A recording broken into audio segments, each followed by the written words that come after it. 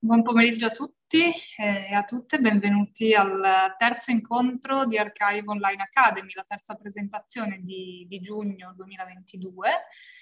E, um, intanto sto continuando ad ammettere gli utenti, eh, benvenuti anche agli utenti che ci stanno seguendo da YouTube. Eh, benvenuti ai docenti di oggi, Guido Caldarelli e Alessandro Codello che eh, oggi introdurranno appunto a uh, un discorso sempre legato agli archivi, alle digital humanities, uh, ma uh, vedrete ora con un taglio più beh, diverso dal solito. Ricordo a tutti gli utenti che potranno porre le proprie domande sulla chat sia di Zoom che di eh, che di YouTube, eh, digitando appunto il proprio quesito che io potrò poi eh, porre ai docenti. In alternativa per gli utenti collegati su Zoom eh, potrete porre la domanda direttamente alzando, alzando la mano.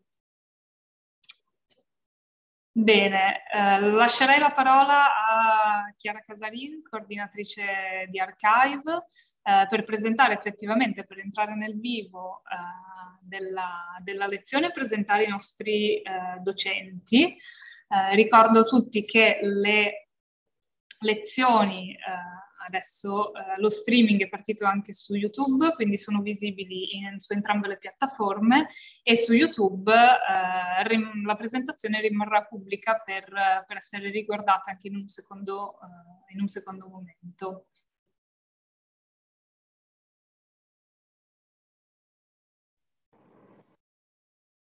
Buonasera e benvenuti a tutti e a tutte, e in particolare anche eh, agli studenti di, di Ca' Foscari e un benvenuto a tutti anche dal nostro segretario generale della Fondazione Giorgio Cini.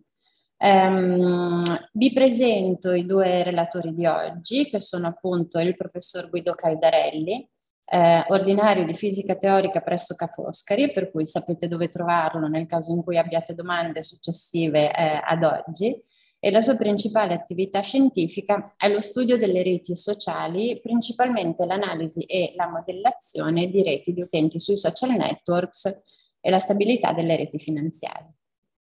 Dopo aver conseguito il dottorato di ricerca alla SISSA, eh, è stato postdoc presso il Dipartimento di Fisica e Scuola di Biologia dell'Università di Manchester e presso il Theory of Condensed Matter Group dell'Università di Cambridge.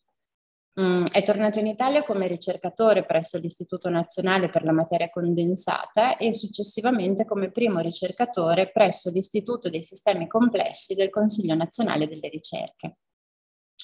Eh, Guido Caldarelli ha trascorso alcuni mesi come visitatore presso l'Università di Friburgo, l'École eh, Normale Supérieure di Parigi e l'Università di Barcellona e presso eh, l'ETH di Zurigo.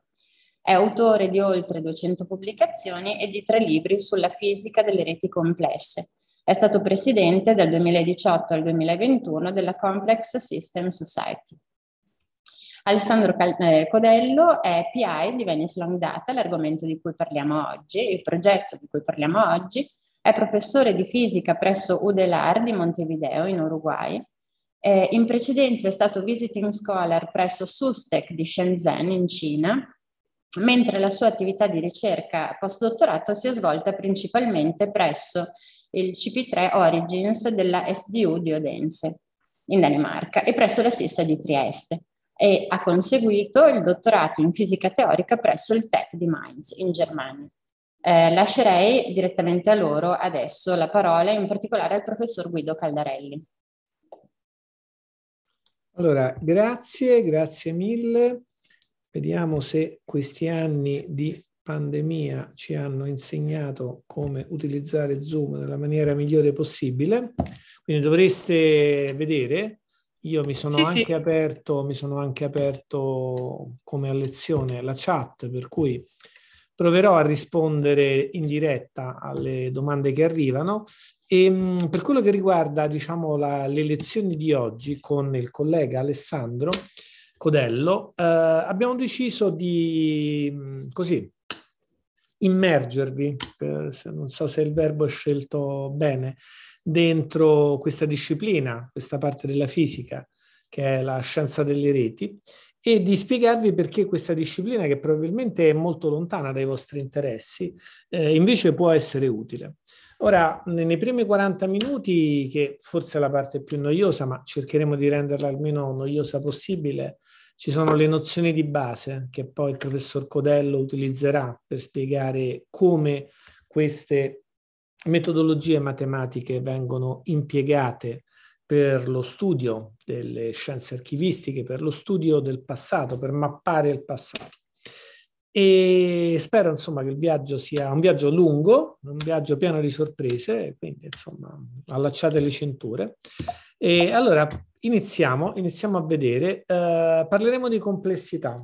Ora, il mondo passato, questa è una novità, ma anche il mondo futuro, questo più o meno già, già era noto, eh, avranno sempre più bisogno di complessità. Che cos'è la complessità? La complessità è una parte della fenomenologia del mondo che ci circonda, non ancora ben definita, eh, appunto forse proprio perché è complessa, ma che quasi sicuramente ha a che fare con il gran numero di eh, variabili e di quantità che debbono essere eh, adoperate per spiegare i fenomeni che vediamo intorno a noi. La fisica del liceo, insomma, qualcuno avrà fatto, la, la, chimica del liceo è sempre una fisica, una chimica, una scienza di laboratorio, si prende un caso molto particolare, estremamente particolare e si cerca di descriverlo. Ecco, il mondo di fuori purtroppo non è così, o per fortuna, anzi non è così. Abbiamo folle di persone, per esempio, abbiamo i neuroni nel nostro cervello, abbiamo i computer che si collegano in rete. Ora il comportamento di una folla non è il comportamento di una persona, un neurone probabilmente non pensa, un cervello pensa. Eh, le proprietà delle reti sociali, le proprietà delle reti di computer non sono proprietà che possiamo immaginare semplicemente guardando una parte di questo. Allora, vari colleghi, alcuni diciamo molto famosi come Stephen Hawking per esempio, avevano già immaginato che questo sarebbe stato il secolo della complessità. In qualche modo, se, poi, se mi perdonano gli architetti, diciamo che sono all'ascolto, se abbiamo capito come fare i mattoni, li possiamo fare in cemento, in argilla, in vetro, in vetrocemento, in acciaio, Ecco, adesso dobbiamo imparare a costruire gli edifici, per cui con gli stessi blocchi di cui abbiamo capito come funzionano possiamo costruire stadi, chiese, cattedrali, palazzi, piscine. No? Quindi adesso il piano di come fare con questi mattoni è tutto da scrivere. Ora, non, non solo Hawking, adesso molti di voi avranno sentito le notizie, abbiamo un premio Nobel per fortuna dopo tanto tempo, altri anche diciamo li avremmo meritati ma non, non gliel'hanno dati. Giorgio Parisi è una persona che ha spiegato la complessità, ha cercato di portare ordine in quello che ci sembra disordinato. Ecco, una piccola parte di questo è ehm, anche legato a tanti meriti, però una parte del, del, del suo premio Nobel è anche legato a questa complessità, a questi sistemi, proviamo a cominciare a definirli, in cui il comportamento dell'insieme è un comportamento che non si riesce eh, a prevedere se uno guarda semplicemente le proprietà dell'atomo singolo, del pezzo singolo che compone il sistema. Un uccello vola, però uno stormo di uccelli è difficile capire eh, come, come, si coordina e come si muove e così via. Um, questo è particolarmente importante oggi e in qualche misura prospetticamente per il passato, perché oggi noi viviamo in una situazione che non ha precedenti nella storia dell'umanità. Noi oggi abbiamo una produzione di informazione sterminata eh, varie stime ci parlano di un 10 seguito da un, di un 1 seguito da 18 zeri, mh? Mm? di bit, anzi di byte, scusate, di informazione che è costruita ogni giorno. Questo è un numero sterminato, un numero grandissimo. Eh, tanto per, per, capirci, senza utilizzare i numeri, noi in ogni anno o frazione di anno mh, mm, produciamo tanto informazione quanta ne è stata fatta e prodotta dagli uomini delle caverne, dal Neolitico fino ad oggi. Quindi noi ogni anno o porzione di anno, 6-8 mesi, più 6 mesi adesso, raddoppiamo tutta l'informazione che conosciamo. Ora, del passato abbiamo conservato le cose belle, quelle artistiche, eh, gli scritti, i dipinti, i monumenti, del presente conserviamo tutto quello che compriamo su Amazon, la raccomandata che ci arriva dalle poste, eh, qualunque cambio di moneta, un bancomat fatto da un turista in un qualsiasi posto del mondo, qualunque tipo di queste informazioni viene, viene conservato. Alcune sono utili, alcune meno utili, tutte però ci fanno capire il mondo. Ora, eh, le proprietà dei sistemi complessi su cui mm, non avremo molto tempo, però sono quelle che servono per apprezzare la seconda parte, sono duplici. Queste che vedete, ce ne sono anche altre, queste però sono veramente molto importanti. I, I, comportamenti di questi sistemi sono inaspettati perché sono legate a queste due cose, manca una causa-effetto. Ora, come, come, spiegarla meglio questa cosa qui? Allora, io ho pensato che forse un esempio che viene da, dalla natura, dall'ecologia, insomma, dal, dal mondo che, che, ci circonda, eh, riesce, insomma, mette a proprio agio chiunque e forse è particolarmente esaustivo come, come esempio. Ora, un classico caso di sistema complesso è un ecosistema. Per ecosistema prendiamo una parte del territorio dove vivono varie specie, sia animali che vegetali, e delle varie interazioni possibili andiamo per esempio a vedere chi mangia chi, quella proprio diciamo più brutale, quella legata alla sopravvivenza. E beh, ci sono molte sorprese, no? eh, tutti noi siamo interessati a preservare il panorama naturale, tutti noi vorremmo avere un metodo per intervenire eh, negli ecosistemi più fragili, però vedremo che questo non è particolarmente semplice, proprio perché abbiamo a che fare con un sistema complesso. Ora, io mi sono permesso di utilizzare parte del tempo per un breve, un breve filmato che si può trovare in rete e sarà in inglese, ma i sottotitoli sono in italiano, diciamo i sottotitoli colpa mia, eh, se non, non vi piacciono, pensare che la traduzione non sia la migliore possibile.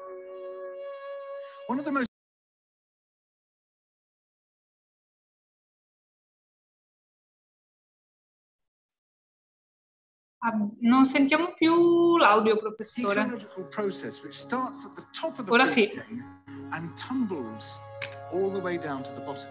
And the classic example is what happened in the Yellowstone National Park in the United States when wolves were reintroduced in 1995. Now, we, we all know that wolves kill various species of animals, but perhaps we're slightly less aware that they give life to many others. Before the wolves turned up, they'd been absent for 70 years. That the numbers of deer, because there was nothing to hunt them, had built up and built up in the Yellowstone Park. And despite efforts by humans to control them, they'd managed to reduce much of the vegetation there to almost nothing. They'd just grazed it away. But as soon as the wolves arrived, even though they were few in number, they started to have the most remarkable effects. First, of course, they killed some of the deer, but that wasn't the major thing. Much more significantly, they radically changed the behavior of the deer. The deer started avoiding certain parts of the park, the places where they could be tracked most easily, particularly the valleys and the gorges. And immediately those places started to regenerate. In some areas, the height of the trees quintupled in just six years. Bare valley sides quickly became forests of aspen and willow and cottonwood. And as soon as that happened, the birds started. The number of songbirds, of migratory birds, started to increase greatly. The number of beavers started to increase because beavers like to, to eat the trees. And beavers, like wolves, are ecosystem engineers. They create niches for other species. And the dams they built in the rivers um, provided habitats for otters and muskrats and ducks and fish and reptiles and amphibians. The wolves killed coyotes And as a result of that, the number of rabbits and mice began to rise, which meant more hawks, more weasels, more foxes, more badgers. Ravens and bald eagles came down to feed on the carrion that the wolves had left. Bears fed on it too, and their population began to rise as well, partly also because there were more berries growing on the regenerating shrubs. And the bears reinforced the impact of the wolves by killing some of the calves of the deer. Here's where it gets really interesting. The wolves changed the behavior of the rivers. They began to meander less. There was less erosion. The channels narrowed, more pools formed, more riffle sections, all of which were great for wildlife habitats. The rivers changed in response to the wolves.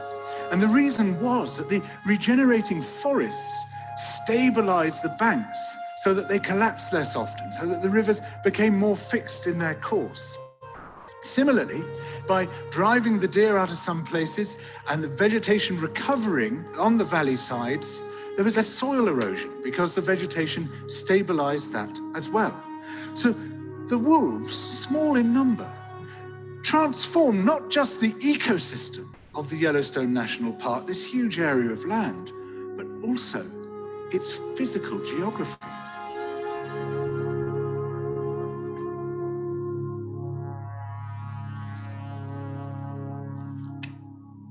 Bene, è, sempre un po' complicato, diciamo, intervenire dopo una cosa così bella. Però ecco, vedete, del tutto inaspettatamente quello che succede è che l'animale forse più pericoloso per un ecosistema è poi quello che invece diventa il più prezioso. Quindi è, è molto difficile immaginare, studiando teoricamente, come un sistema complesso può comportarsi e che cosa succede. Questo li rende molto affascinanti e ehm, rende anche molto pressante l'urgenza di trovare soluzioni, di trovare modelli e di cercare di capire ehm, che cosa sta succedendo. Ora abbiamo parlato di tante cose, parleremo di altre ancora. Capisco la sorpresa, ma perché un fisico dovrebbe parlare di, di queste cose? Allora cercherò di convincervi anche di questo.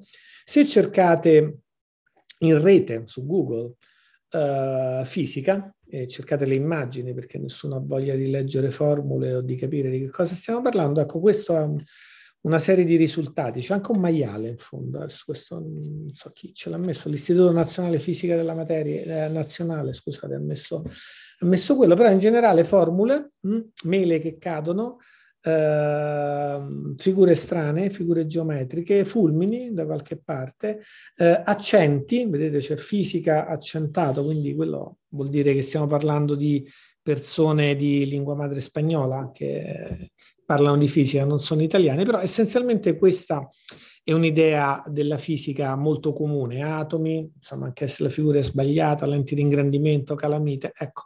Ora io cercherò di convincervi oggi che invece diciamo uh, la fisica di cui parliamo è una fisica altrettanto valida perché fisica significa studio della natura, dalla, dal greco e la natura intorno a noi è davvero molto cambiata, mentre nei centinaia di anni fa non c'era questa complessità nel mondo, adesso la complessità c'è dovunque e quindi c'è bisogno di eh, sistematizzare, di rendere quantitativa ogni analisi che viene fatta per poter applicare dei modelli ed eventualmente falsificarli, che è un po' diciamo così, la ricetta del metodo scientifico.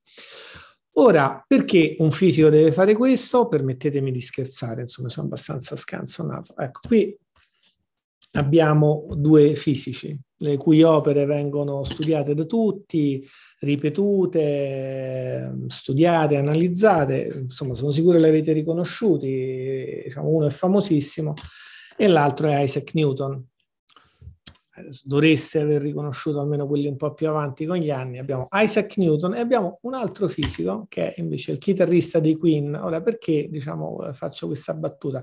Allora, innanzitutto vedete c'è un'invarianza temporale, dopo 400 anni sono più o meno simili anche come acconciatura, Ma no, c'è una cosa più importante dell'aspetto ed è che il dottor Brian May, dottorato in astrofisica all'Imperial College, quindi anche diciamo, un'istituzione molto buona per la fisica, um, non solo diciamo, i meriti artistici li lascio giudicare ad ognuno, però ha una caratteristica particolare, la chitarra con cui suona da sempre se l'è costruita.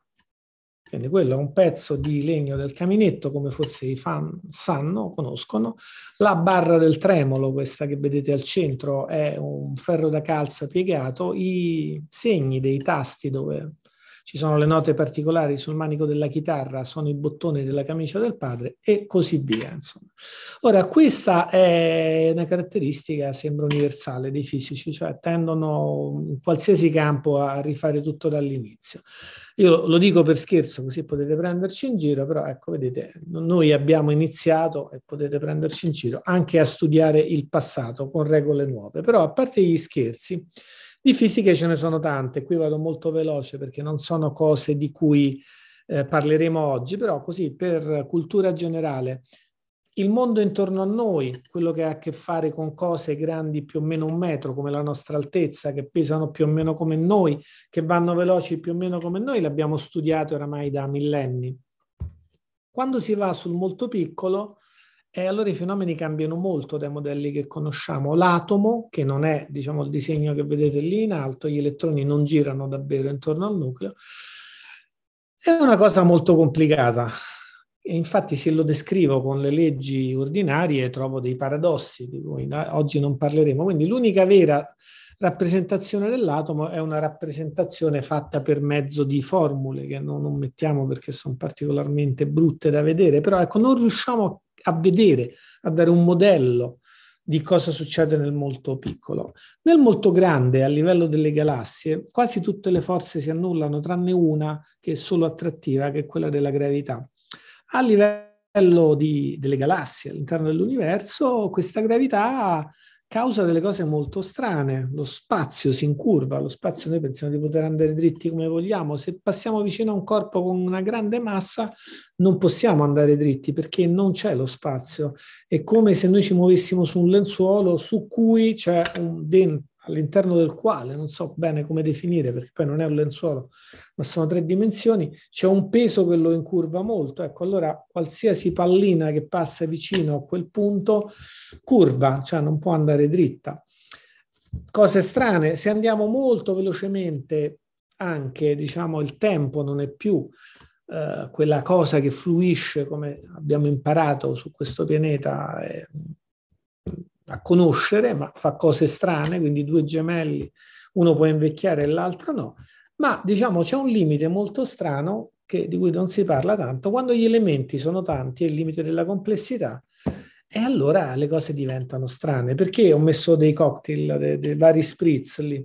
Perché dentro un bicchiere di qualsiasi cosa, acqua, spritz, anche Campari da solo, c'è un numero di molecole che è sterminato, è 10 alla 23. Vi ricordate questo 10 alla 18? Ora, che vuol dire 10 alla 23?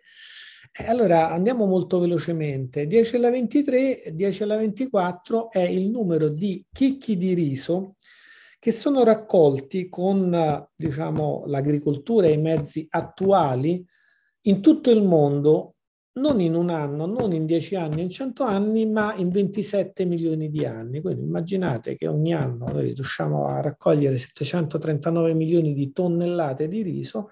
Immaginate di mettere da parte questo raccolto per 27 milioni di anni e avrete come chicchi di riso il numero di molecole che c'è dentro uno spritz.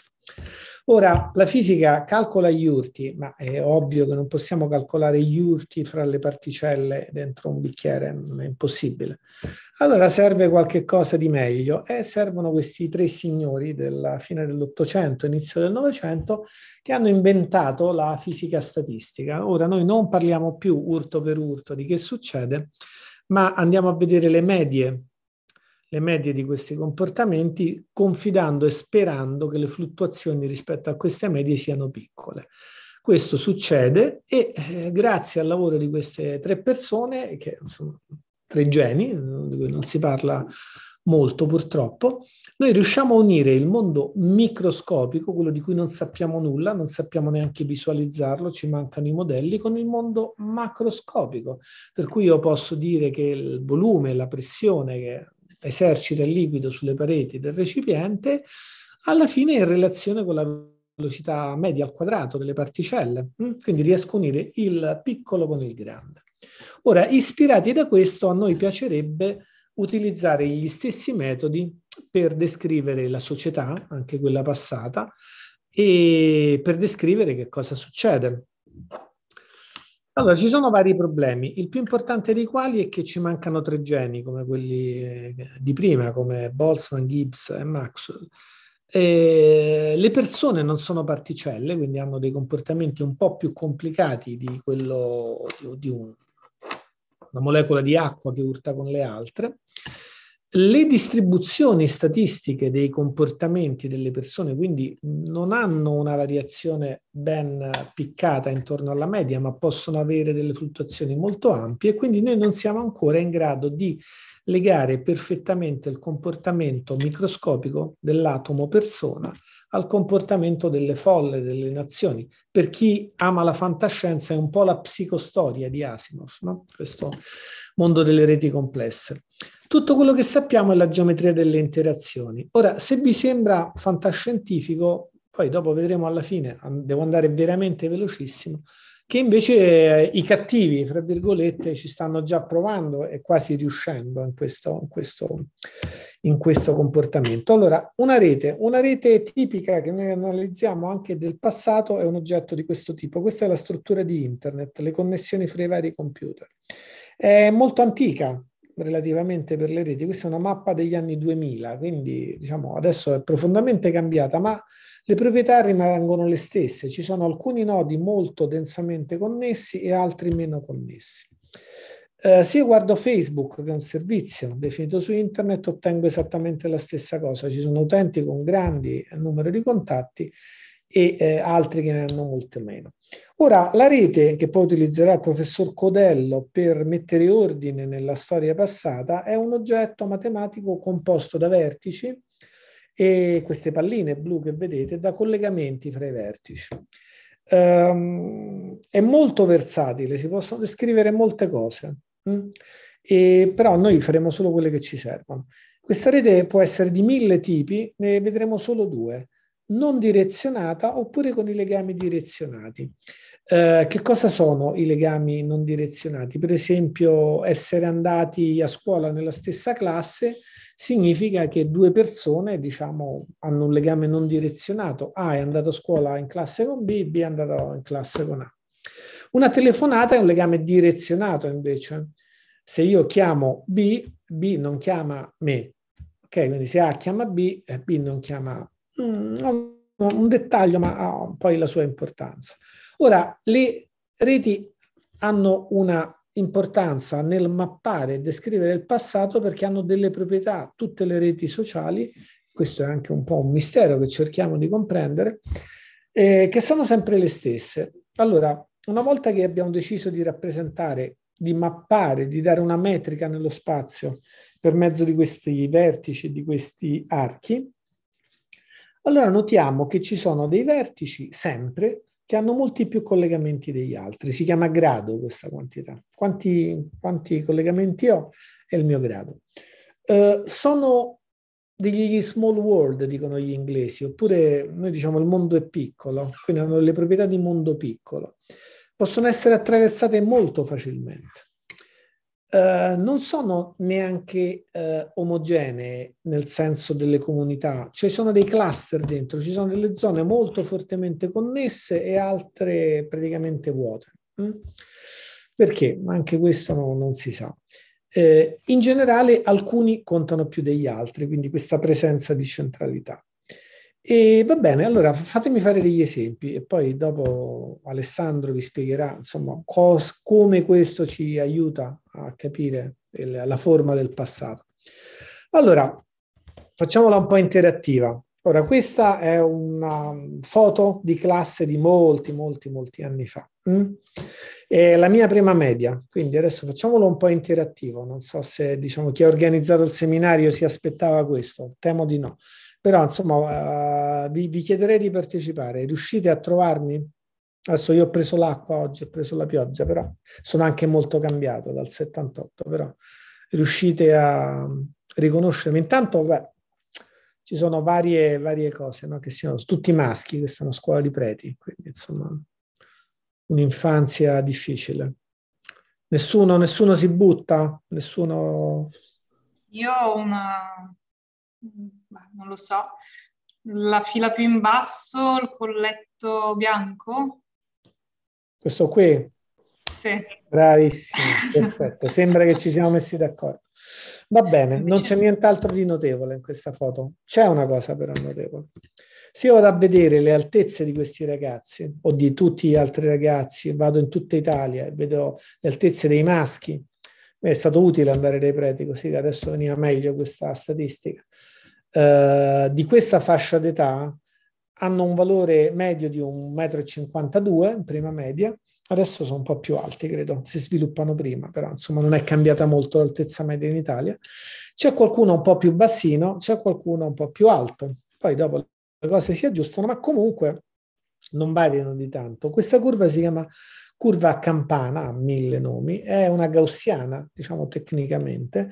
Il valore medio è il valore più probabile, non sempre è così, eh, quindi è centrata intorno al valore medio e le fluttuazioni sono piccole rispetto alla media. Quindi ci sono quelli un po' più bassi che magari sono complessati, quelli un po' più alti magari sono complessati, ma alla fine parliamo di una decina di centimetri, 20 al massimo in tutta Italia. Ecco. Eh, nel Guinness dei primati non abbiamo persone enormemente basse o enormemente alte. Però quando guardo altri fenomeni, questo non succede mai. Se io vado a vedere nella borsa valori di New York eh, il valore delle azioni e tutto sommato per i dati che sono disponibili anche il reddito degli investitori, non trovo mai una curva a campana. La curva a campana è molto rara, ci sono tante persone che hanno un reddito basso e qualcuno che ha un reddito molto alto.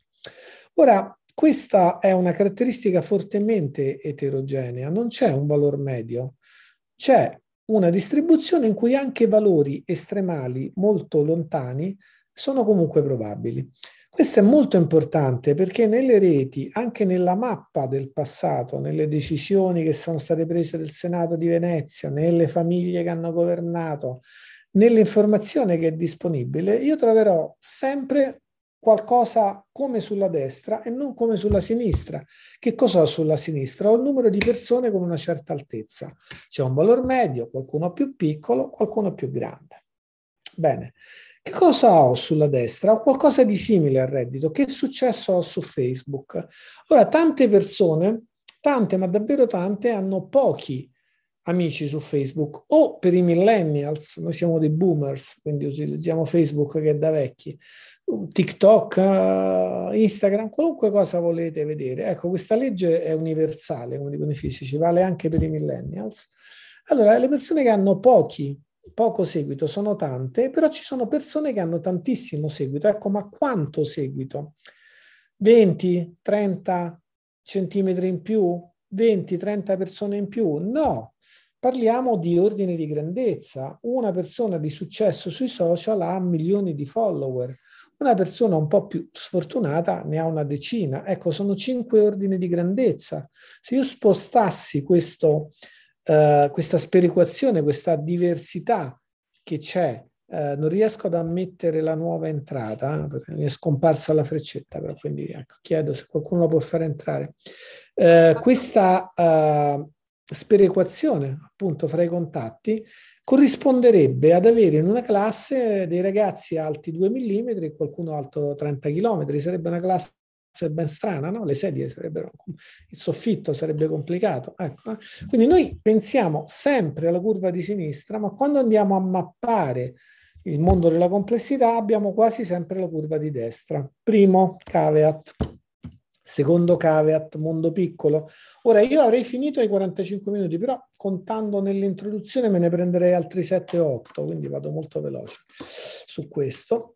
Non, non spaventatevi. Un'altra proprietà delle reti qual è? È quella di poter essere attraversate facilmente. Questo ce l'ha mostrato un sociologo nel 67, quindi questo è l'articolo originale, ha mandato delle lettere a caso negli Stati Uniti eh, chiedendo alle persone che ricevevano queste lettere se conoscevano un suo amico che vendeva azioni in banca a Boston. Ecco, nessuno lo conosceva, quindi primo, prima parte dell'esperimento è andata male, seconda parte dell'esperimento, vabbè, passate questo messaggio, fate questo gioco di società, mh? Hm? Eh, dando questa mia richiesta di mandare una cartolina a questa persona di cui vi do nome e cognome, a qualcuno che secondo voi lo può conoscere. E così via. E continuate a passarlo. E mandatemi una cartolina ogni volta che fate questo passaggio per ricostruire la serie di amicizie che porta a una persona scelta a caso. Quindi la cassiera del supermercato lo passa a un falegname, un pittore che lavorava nel supermercato, che lo passa a qualcuno che lavorava in una biblioteca, che lo passa a degli notipisti, l'ultimo degli notipisti lo passa a un uh, venditore, questa è una catena reale, lo passa a un commerciante di abiti che insomma conosceva, aveva il conto in banca a Boston e conosceva questa persona.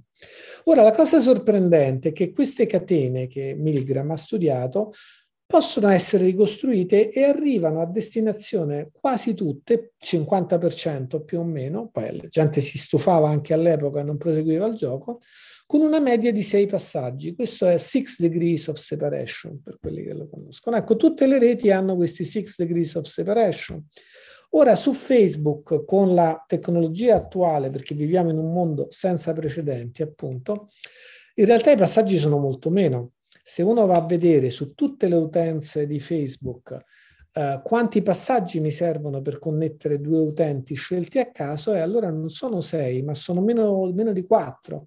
La media è 3,57, addirittura la moda, cioè il valore più eh, presente, che è più probabile che abbiamo, quello che, che con una frequenza maggiore, è 3, meno di 3,5, quindi con tre passaggi io sono connesso con chiunque su Facebook.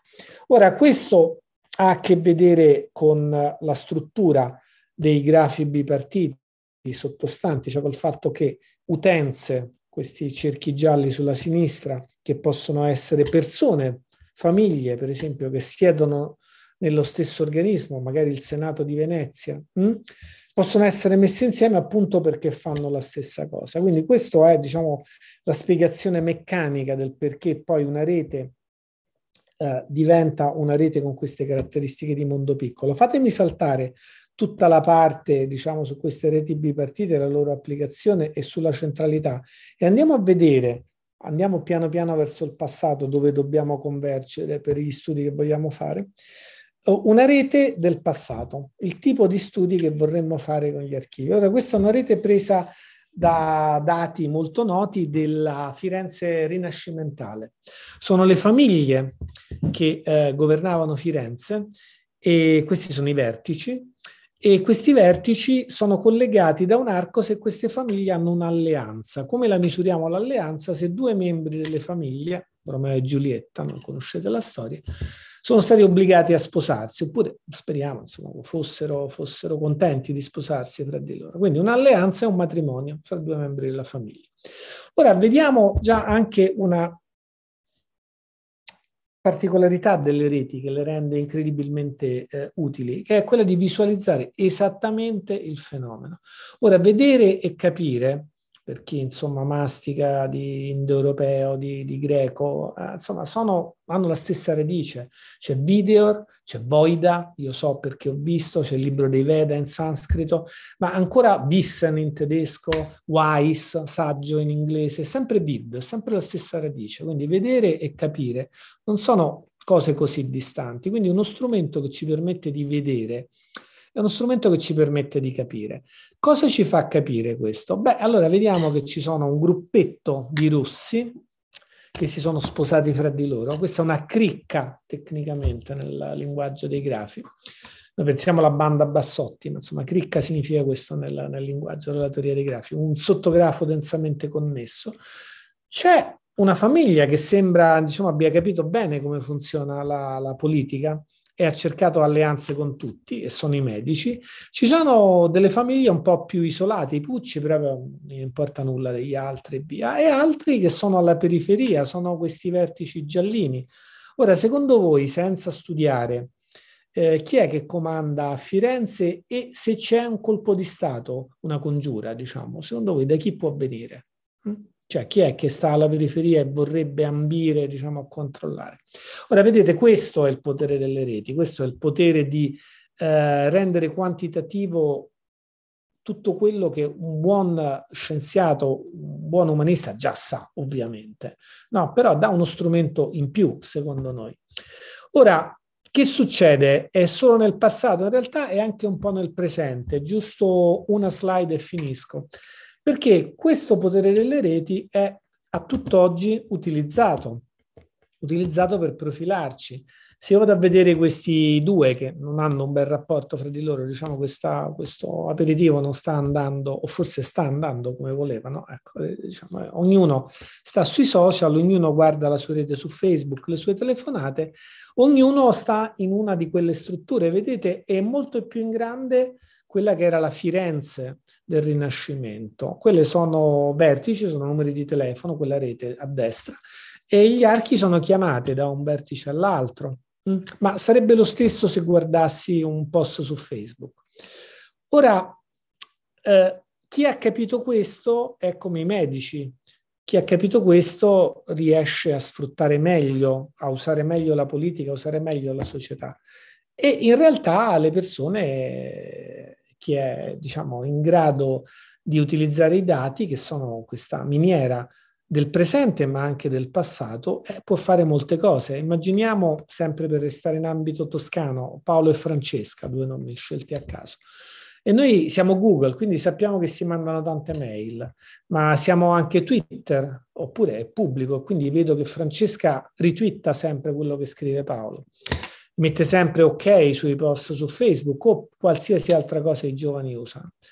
Poi, scusate, avrete capito dall'accento che non sono proprio cresciuto in laguna, quindi diciamo, fatemi fare un, così, un minimo di uh, pensiero alle origini. Entrambi, diciamo come, come me, supportano una certa squadra di calcio, entrambi acquistano la stessa cosa.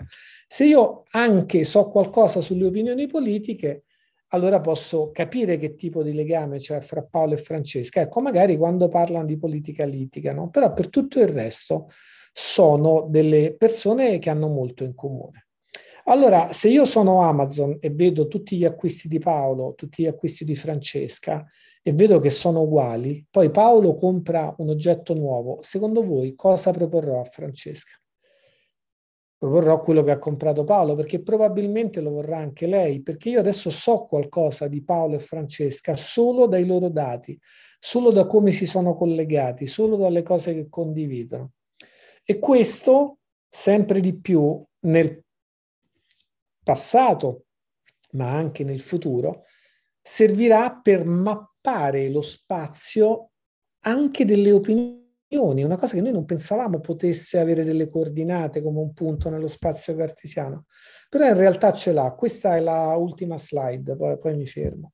Se io vado a vedere che cosa, uh, quali messaggi mettono su questo uh, servizio uh, che c'è su internet, che si chiama Twitter, di solito i politici si fanno accreditare, mettono dei messaggi e chi li segue ok? Li ritwitta, cioè rimanda questi messaggi in giro. Io posso costruire una rete che collega chi scrive un messaggio e chi poi lo replica, lo amplifica, lo manda ai propri follower.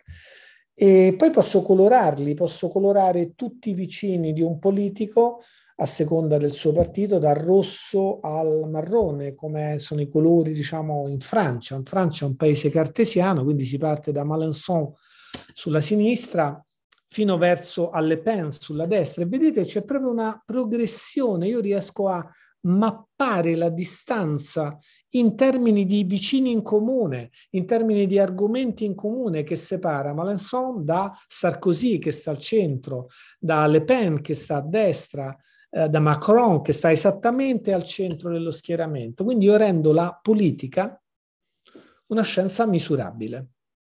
Mm, che insomma abbastanza rivoluzionaria come cosa. Ora, questo no, non siate troppo eccitati perché questo è un paese cartesiano. Se poi andiamo in un paese, diciamo, frutto del eh, Rinascimento, ecco, in Italia l'ordine ovviamente non c'è. Se noi facciamo la stessa cosa su Twitter con i politici italiani, trovate, diciamo, che ne so, una specie di isola eh, rossa in basso a destra, poi c'è il blu, un po', era al tempo eh, di questa analisi, erano credo due elezioni politiche fa, il Popolo delle Libertà, credo fosse schier- il nome dello schieramento, poi c'è un rosa indistinto, più o meno il centro, e poi c'è il giallo che è il Movimento 5 Stelle, che sta da una parte, però sta anche sotto, però sta anche a destra. Nel rosso c'è un rosso più tenue che è Matteo Renzi, che all'epoca si era candidato come leader del Partito Democratico, uno dei partiti dello schieramento di centrosinistra, molto vicino in termini di argomenti e di vicino in comune c'è Silvio Berlusconi che è dell'altro schieramento. Diciamo, un politico italiano trova una spiegazione anche a questo. E però, vedete, no? diventa anche tangibile e misurabile anche una differenza di intendere la politica anche fra due nazioni comunque molto simili come Italia e Francia. Ecco, spero di avervi incuriosito sulla meccanica e matematica delle reti. Eh, sarete molto più curiosi di sentire come tutta questa tecnologia può essere applicata alle scienze archivistiche. Se qualcuno è ancora vivo, diciamo, spero di sì, insomma. Sono qui per le domande. Eh.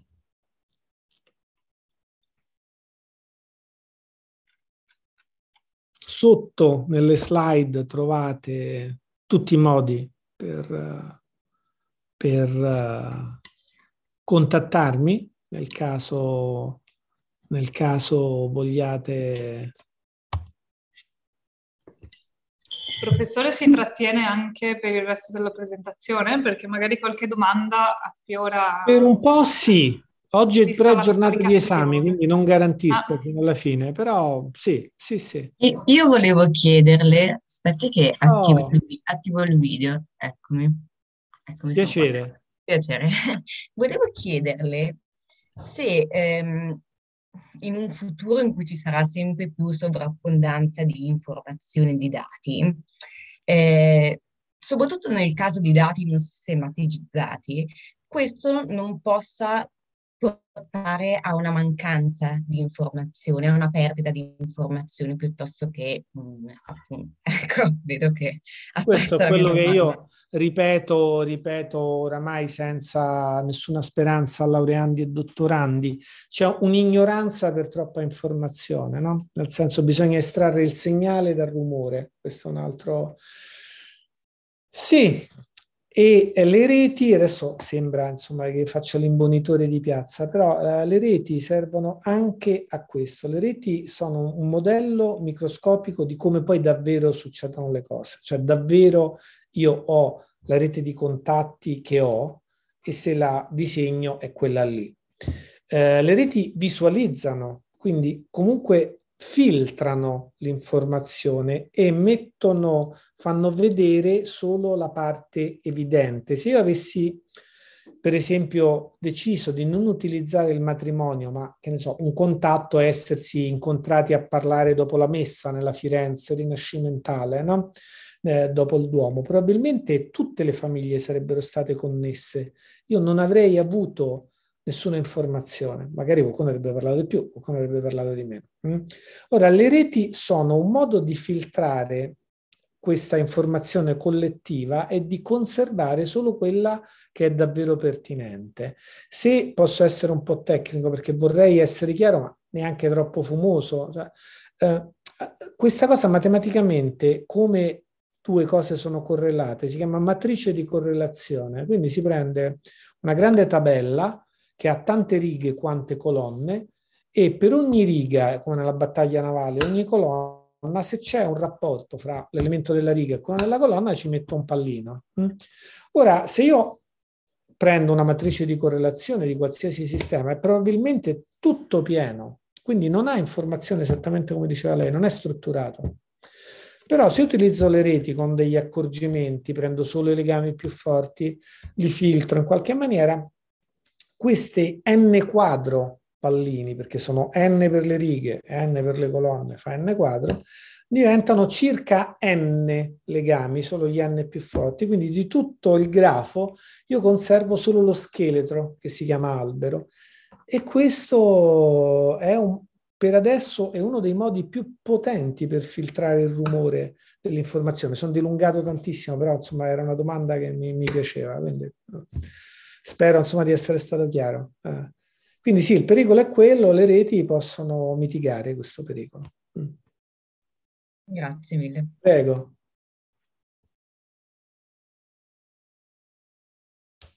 Il titolo del filmato iniziale, grazie per i complimenti immeritati, lo cerco e lo metto, lo metto in chat.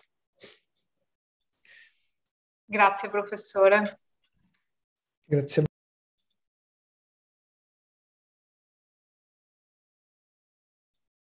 Ora, non, non, la sento più, non so se stava parlando. No, no, ho lasciato campo libero al collega.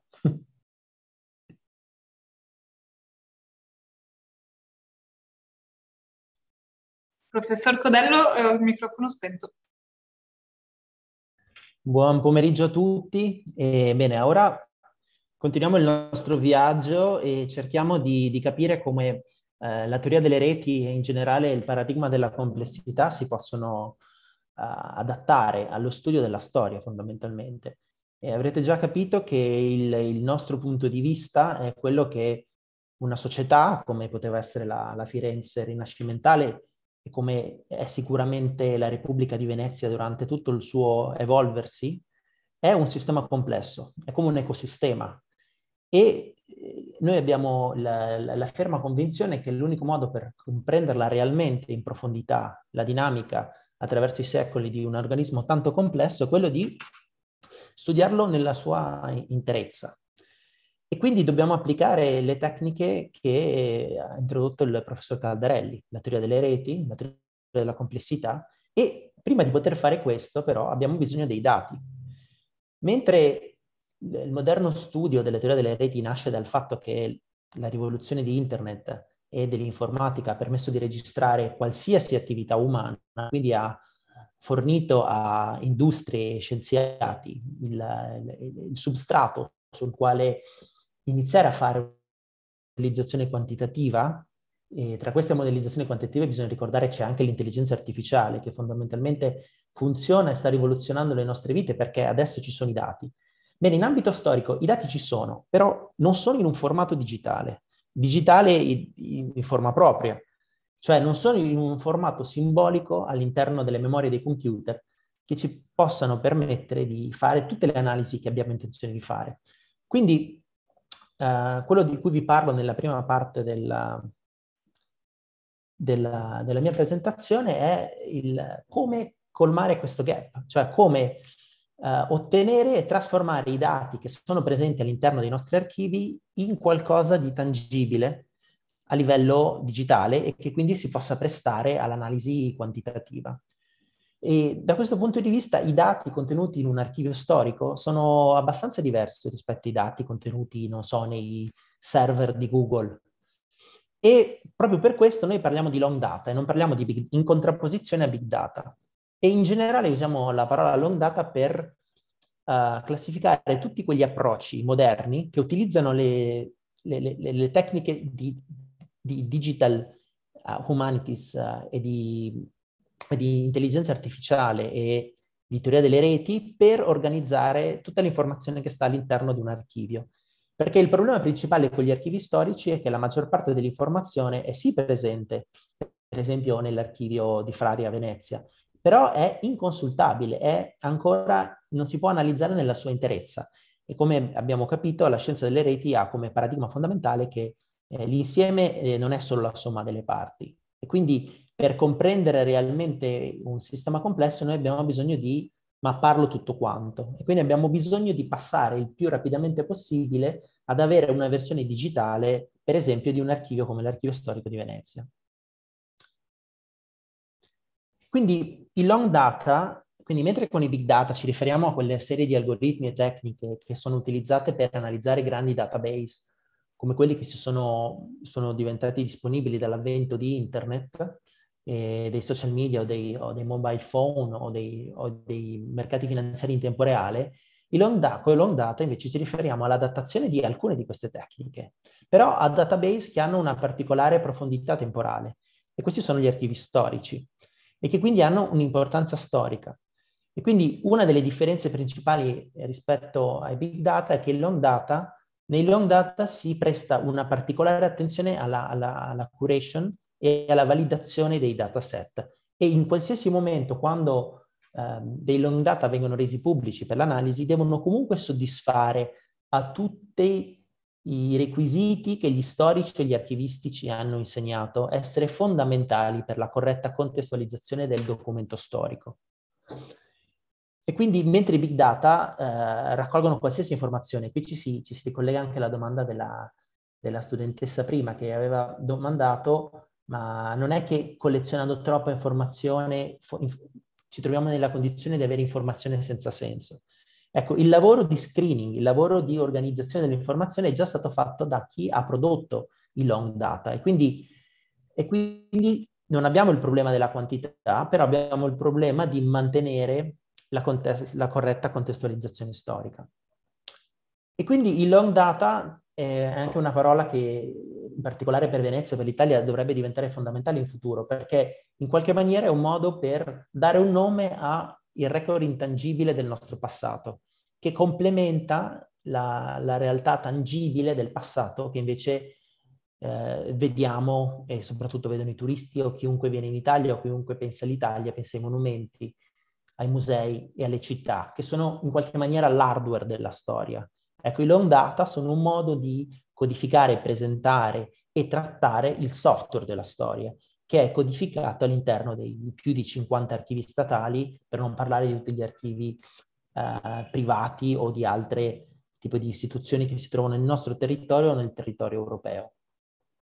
E quindi l'idea dei long data non è solo è quello di trattare, fornire le basi per uno studio macroscopico della storia, come quello che andremo poi a fare con la teoria delle reti, per esempio, che sia complementare sempre al, invece alla, all'approccio tipico della storia come, si, come, come disciplina, che invece è quella di seguire appunto storie specifiche di alcuni personaggi celebri. Invece abbiamo capito che noi dobbiamo riuscire a mappare, per esempio, la rete di tutte le famiglie veneziane per capire come il potere, chi avesse in mano il potere, chi avesse in mano il commercio, se chi aveva in mano il potere politico aveva in mano anche il commercio, se chi aveva in mano il potere politico aveva in mano anche la, la, la distribuzione delle proprietà all'interno dell'isola o all'interno dei, degli stati da mare o dalla stata da terra. Tutte queste domande fondamentali che ci, ci dobbiamo porre per comprendere una, una, lo sviluppo di una società si possono fare soltanto quando abbiamo il framework dei long data sviluppato. Però per fare questo dobbiamo superare, ci presentano altre sfide straordinarie, come quelle della trascrizione. E quindi i long data vogliono utilizzare tecniche moderne come la trascrizione automatica offerta dall'intelligenza artificiale per raggiungere obiettivi che una volta erano impensabili, come ad esempio la trascrizione integrale di una serie archivistica. E questo è uno dei principali progetti che vi presenterò nella seconda parte, cioè l'approccio di, di Venice Long Data alla serie archivistica delle, delle deliberazioni del Senato. E quindi i long data si manifestano come l'opportunità per iniziare una, anche una, una, una, rivoluzione o un proiettare scienze come la scienza archivistica nel XXI secolo e quindi permettere alla scienza archivistica e storica di rappresentare le informazioni e quindi dedurre le conclusioni e vedere, esattamente come si diceva prima, perché solo che vedere è conoscere, vedere la mappa, per esempio, dei documenti che stanno all'interno di un registro del Senato, che vi mostrerò. Ecco, questo ci dà un'immagine che probabilmente uno storico professionista che ha lavorato a Venezia su quei particolari documenti ha già nella sua mente, ma chiunque di noi che, che, che vuole approcciare questo, per esempio i documenti del Senato e non ha un dottorato nella materia, altrimenti fa, fa fatica a ottenere un'immagine diretta e rapida di, di, quello che realmente contengono questi documenti.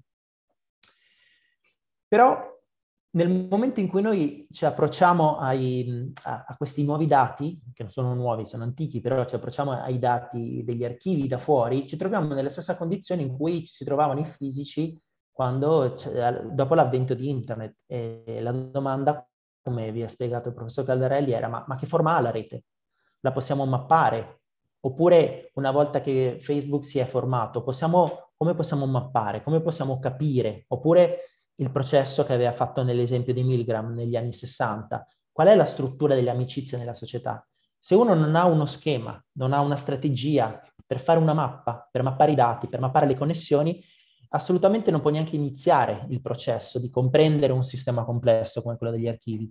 E quindi il primo problema che abbiamo dovuto affrontare è stato quello come possiamo fare una mappa dell'archivio di Venezia. Certamente non sarà una mappa fisica perché non, non ha molta importanza come sono accatastati o organizzati i registri oggigiorno.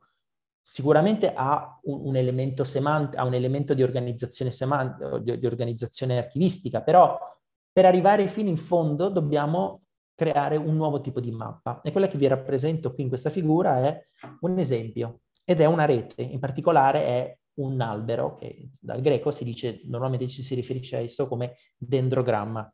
Questa è una mappa che vi dà una visione d'insieme di tutta l'informazione che è contenuta nell'archivio di Stato di Venezia. Ora, cosa sono questi alberi che si vedono qui e questa organizzazione gerarchica che emerge? Bene, dalla mappa emerge che uh, l'informazione è suddivisa in alberi e ogni albero ha delle biforcazioni in rami e sottorami. Questa noi l'abbiamo costruita a partire dagli indici, a partire da tutta una serie composita di informazioni e di strumenti di ricerca e di organizzazione dell'informazione tradizionali in archivio di Stato, come per esempio la, la guida archivistica di, di, Damosto e altre, e il sistema SIASVE informatico del, dell'archivio di Venezia. Noi abbiamo preso questa informazione, l'abbiamo fusa e abbiamo rimappato l'informazione. E ovviamente la mappa che è venuta fuori rispecchia correttamente la struttura gerarchica nella quale è organizzata l'informazione all'interno dell'archivio di Stato. Quindi questo anello rosso è l'anello dei fondi archivistici, l'anello azzurro è quello delle serie e poi queste serie a loro volta si sottoframmentano. Quindi questa immagine già ci dà una visione di del grado di complessità e l'accuratezza con la quale l'informazione è contenuta in qualcosa che è intangibile, cioè un archivio. Questa è una mappa che noi presenteremo anche di forma interattiva, oggi ve la posso solo presentare in formato di PDF, quindi faccio io le interazioni che, che sì, interessanti. E qui ho deciso di colorare, di domandare alla mappa che mi colori soltanto quei fondi che hanno un'età che appartengono al periodo storico della Repubblica di Venezia, quindi dall'inizio dell'archivio di Venezia, che abbiamo i documenti più antichi sono del, del IX secolo, fino alla caduta di Venezia nel 1700, alla fine del 1700. E in particolare una cosa molto interessante è che si nota che le parti in grigio, cioè quelle che sono posteriori alla caduta di Venezia, che quindi appartengono al periodo eh, napoleonico, al periodo austriaco, al periodo post-unitario, hanno una forma, una topologia molto più razionale.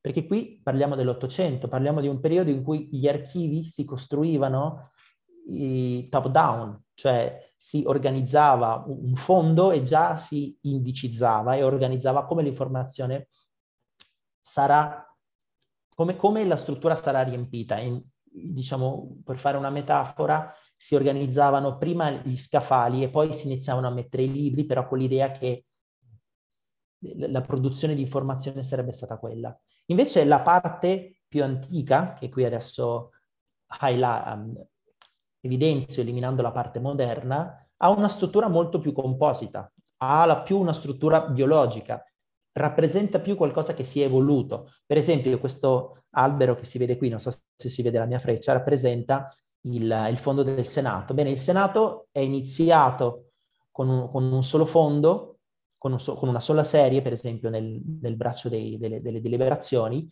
e poi questa serie si è evoluta nel tempo e si è dovuta biforcare.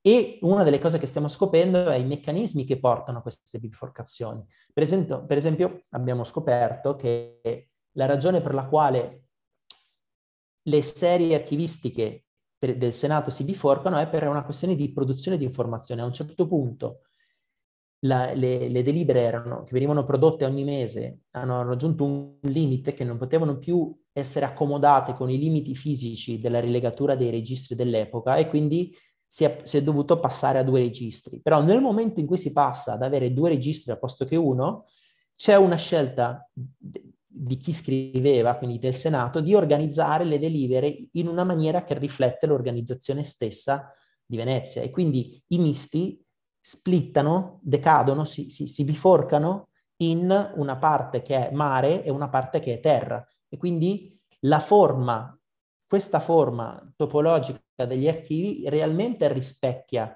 la forma della burocrazia e la forma che Venezia stessa, il Senato stesso aveva di intendere quello che era.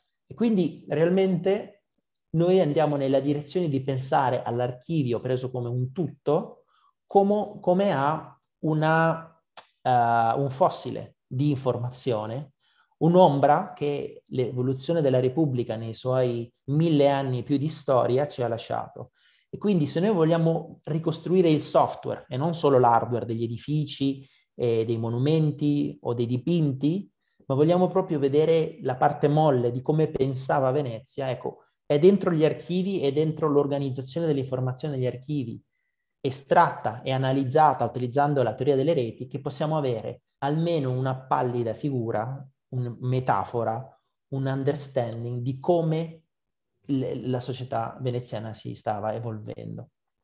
Questa è un'immagine, la stessa immagine, però qui nella nostra visuali infografiche uno può, abbiamo sovraimposto il nome del fondo con un carattere che è proporzionale alla quantità di metri lineari, perché poi stiamo facendo tutto uno studio sopra la, l'informazione dell'archivio, quindi abbiamo a disposizione la quantità di informazioni in metri lineari, il periodo storico, quindi quando venivano prodotte le varie unità archivistiche e la topologia, come sono organizzate le unità archivistiche all'interno di serie e a loro volta all'interno di fondi.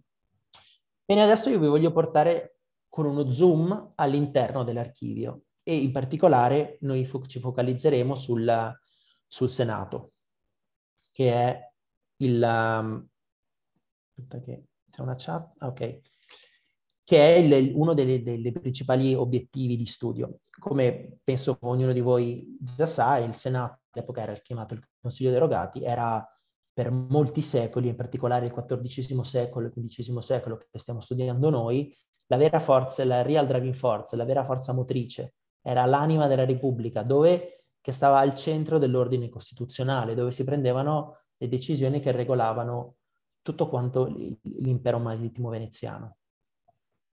Quindi adesso facciamo uno zoom. Quindi questo è, che vedete, è eh, tutto quanto l'archivio con in rosso il fondo del Senato. Adesso io estraggo il fondo del Senato, che vedete parte dal primo livello, e quindi ho le varie sottofondi e le varie serie del Senato. In particolare ci sono due principali biforcazioni, che sono quella che dividono la, il fondo del Senato nei dispacci e nelle deliberazioni. E poi vado zoomando e vado zoomando nella direzione delle, delle deliberazioni. E in particolare qui adesso ho reso visibile delle informazioni che prima avevo tralasciato, perché esattamente come si, si, si stava discutendo prima, quando si parlava del, di prendere lo scheletro della rete, è altrettanto importante capire qual è l'informazione significativa quando si pongono o si vo- alcune domande o ci si interessa ad alcuni aspetti. È molto importante saper eliminare l'informazione che non è indispensabile per la domanda o l'indirizzo che sta prendendo la nostra ricerca. Adesso invece lo riintroduco e quindi si vedono le deliberazioni e le deliberazioni del Senato, che erano valide come legge, venivano raccolte nei famosi registri. Il, I registri rappresentano la cosiddetta unità archivistica e qui è un punto dove i fisici e gli archivistici si incontrano in maniera, perché sono arrivati in maniera indipendente a definire le, le, le stesse idee. Infatti se quando il, direttore degli archivi Raffaele Santoro mi, mi stava eh, spiegando l'organizzazione di, di, questo fondo mi ha, mi, e quando mi ha definito l'unità archivistica come quel, quella parte di informazione che non si può dividere, suddividere ulteriormente senza incorrere in una perdita di informazioni, mi sono brillati gli occhi perché stava proprio ragionando come un fisico che tratta l'informazione proprio in una maniera similare. E quindi, eh, bene, quindi le foglie di questo, i, i punti finali di, di questo, di, di, questo dendrogramma sono le unità archivistiche, che sono nelle quali le varie serie archivistiche si, si frammentano. E in particolare eh, sono molte le ragioni che ci portano a decidere di studiare come primo studio il fondo delle deliberazioni i registri delle deliberazioni, in particolare nel XIII secolo, perché in questo periodo realmente rappresentavano e rappresentano una delle fonti primarie per la storia di non solo Venezia e l'Italia, ma anche di tutto il Mediterraneo e l'Europa. In particolare poi le deliberazioni si, si dividono in varie serie, e sono la serie dei misti, la serie terra, di terra, mare, dei segreti e poi successivamente Roma e Costantinopoli.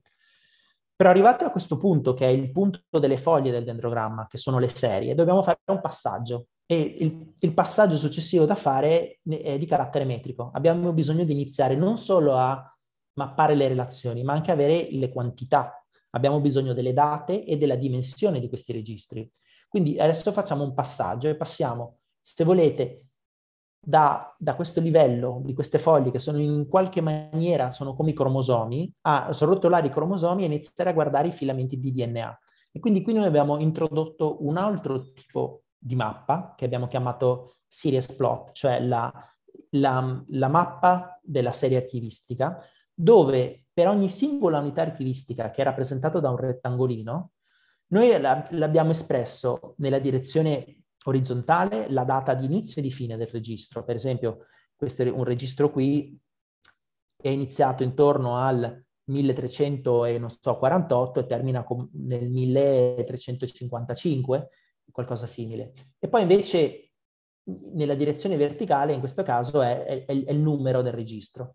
Però il registro sono organizzati in questa maniera e questo grafico ci dimostra delle cose molto importanti. Prima di tutto che una serie archivistica è qualcosa di molto coerente, molto omogeneo nel tempo. È proprio un filamento di DNA senza buchi e che è stato, e per ogni periodo storico contiene una quantità di informazione paragonabile. Questo è fondamentale per, per, per eh, non solo ci dimostra eh, la, la, modernità, quanto avanzata era la burocrazia veneziana, quanto organizzata era, ma oltre a mostrarci questo ci, ci, ci, ci, dà le basi per dire che si può fare uno studio quantitativo, perché ogni periodo storico, inteso ogni anno, ogni mese, veniva prodotta una quantità paragonabile di informazione. Quindi se in un anno si parla di più di, non so, di Ungheria, bene, vuol dire che in quell'anno qualcosa di particolare stava succedendo con l'Ungheria. Non è perché in quell'anno si sono prodotti molti documenti e in, in altri anni non si è prodotto quasi nessun documento. Un'altra cosa molto importante è quella che vi stavo dicendo prima, che si vede proprio come una serie archivistica, che quindi nel caso delle deliberazioni i misti iniziano e durano dall'inizio, in realtà inizierebbero nel 1300, però purtroppo abbiamo perso i primi 14 volumi in un incendio di Palazzo Ducale nel XV secolo, quindi si parte solo dal 1332 e si arriva al 1340. Nel 1340 qui vedete questi tasselli neri de- si, si biforcano in tasselli azzurri che rappresentano il mare e tasselli verdi che rappresentano terra. E un po' prima, all'inizio del 400, si era già deciso di organizzare di maniera separata alcune deliberazioni che erano particolarmente importanti, che si chiamavano sotto il nome di segreti. Se poi vedete più avanti, verso la, la seconda parte del XVI secolo, c'è un'altra biforcazione, cioè da, da terra escono le delibere per Roma e le delibere per Costantinopoli. Quindi già questa immagine ci dà un, una visione del, come se, come se stessimo vedendo tutto quanto l'evoluzione di questa serie.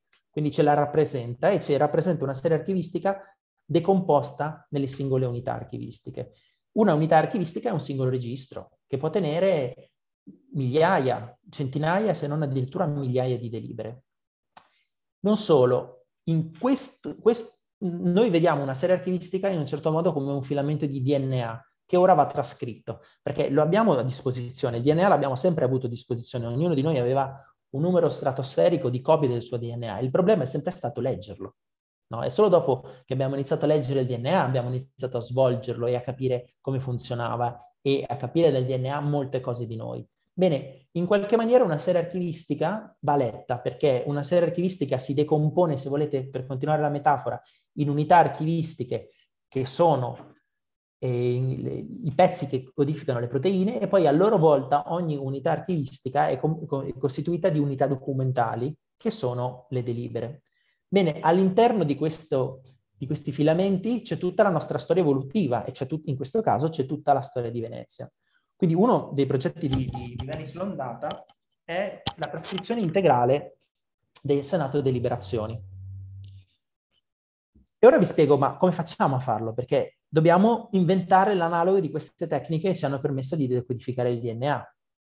E qui abbiamo un problema tecnico da affrontare, che è quello di trascrivere in maniera rapida una serie archivistica come questa, per la quale noi abbiamo a disposizione, prima del nostro progetto, solo 15 registri, che sono i primi 15 della serie. E questi 15 registri sono frutto di, un, di uno straordinario progetto portato avanti dall'Istituto Veneto di Scienze e Lettere d'Arti e dal direttore Ortalli, che ha coinvolto 20 storici professionisti, ma ha anche impiegato 20 anni a portare a casa 20 registri.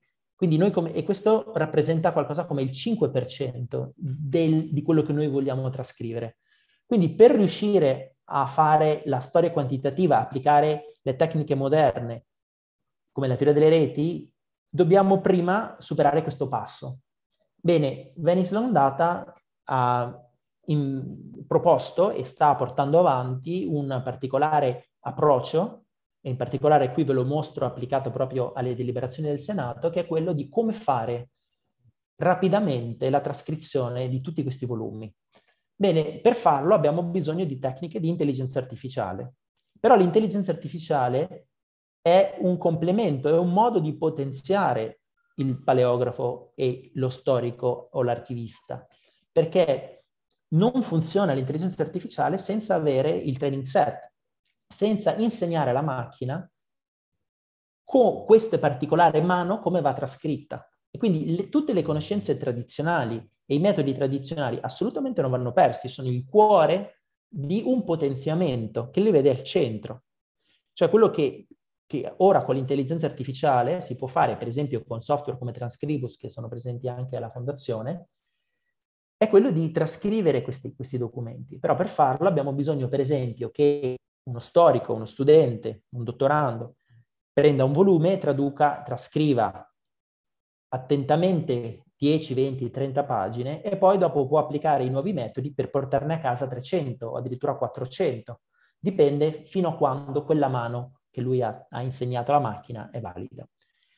Fatto questo passaggio, ovviamente ci troviamo con una materia grezza e questa materia grezza noi vogliamo, perché il, il rigore dei long data vuole che siano portati al livello di uh, pubblicazione di, di, fonti storiche e quindi abbiamo bisogno di nuovo di tutte le capacità tradizionali per validare e quindi essere accertarsi che la trascrizione, che è l'immagine del mezzo, corrisponda all'immagine sulla sinistra con, da, dal punto di vista storico e quindi bisogna, bisogna dargli, come dire, l'approved, l'imprimitur regale del, dell'umanista.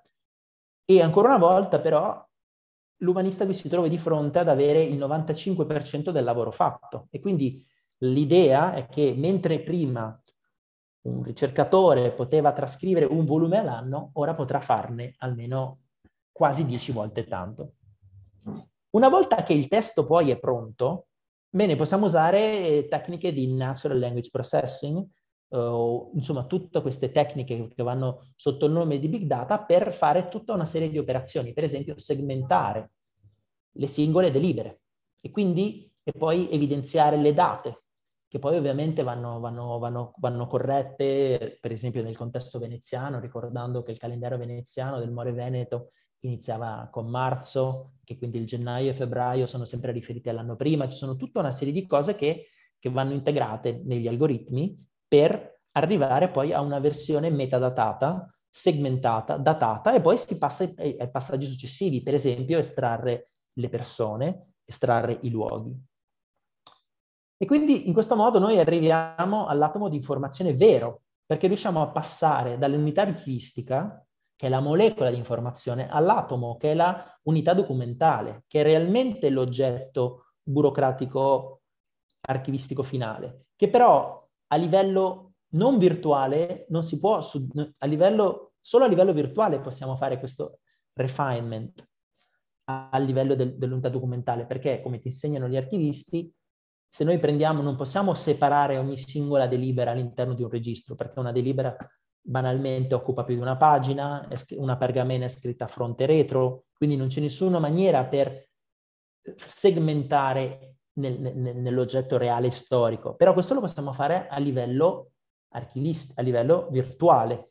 E questo poi ci apre delle applicazioni straordinarie, perché una volta che le delibere sono segmentate una con una, possiamo iniziare a raggrupparle in un ordine che non è il mero ordine cronologico con la quale si presentano nel documento originale, ma possiamo per esempio, e qui tutta la potenza della teoria delle reti entra in gioco, fare per esempio un'organizzazione semantica dove le delibere si organizzano in un nuovo tipo di dendrogramma, in un nuovo tipo di rete, in base ai concetti, i tipi di delibere e quindi riusciamo a fare una mappa, quindi riusciamo a mappare l'operato del Senato perché riusciamo a costruire delle mappe che ci rappresentano esattamente cosa stava facendo il Senato e in un momento ve la faccio vedere.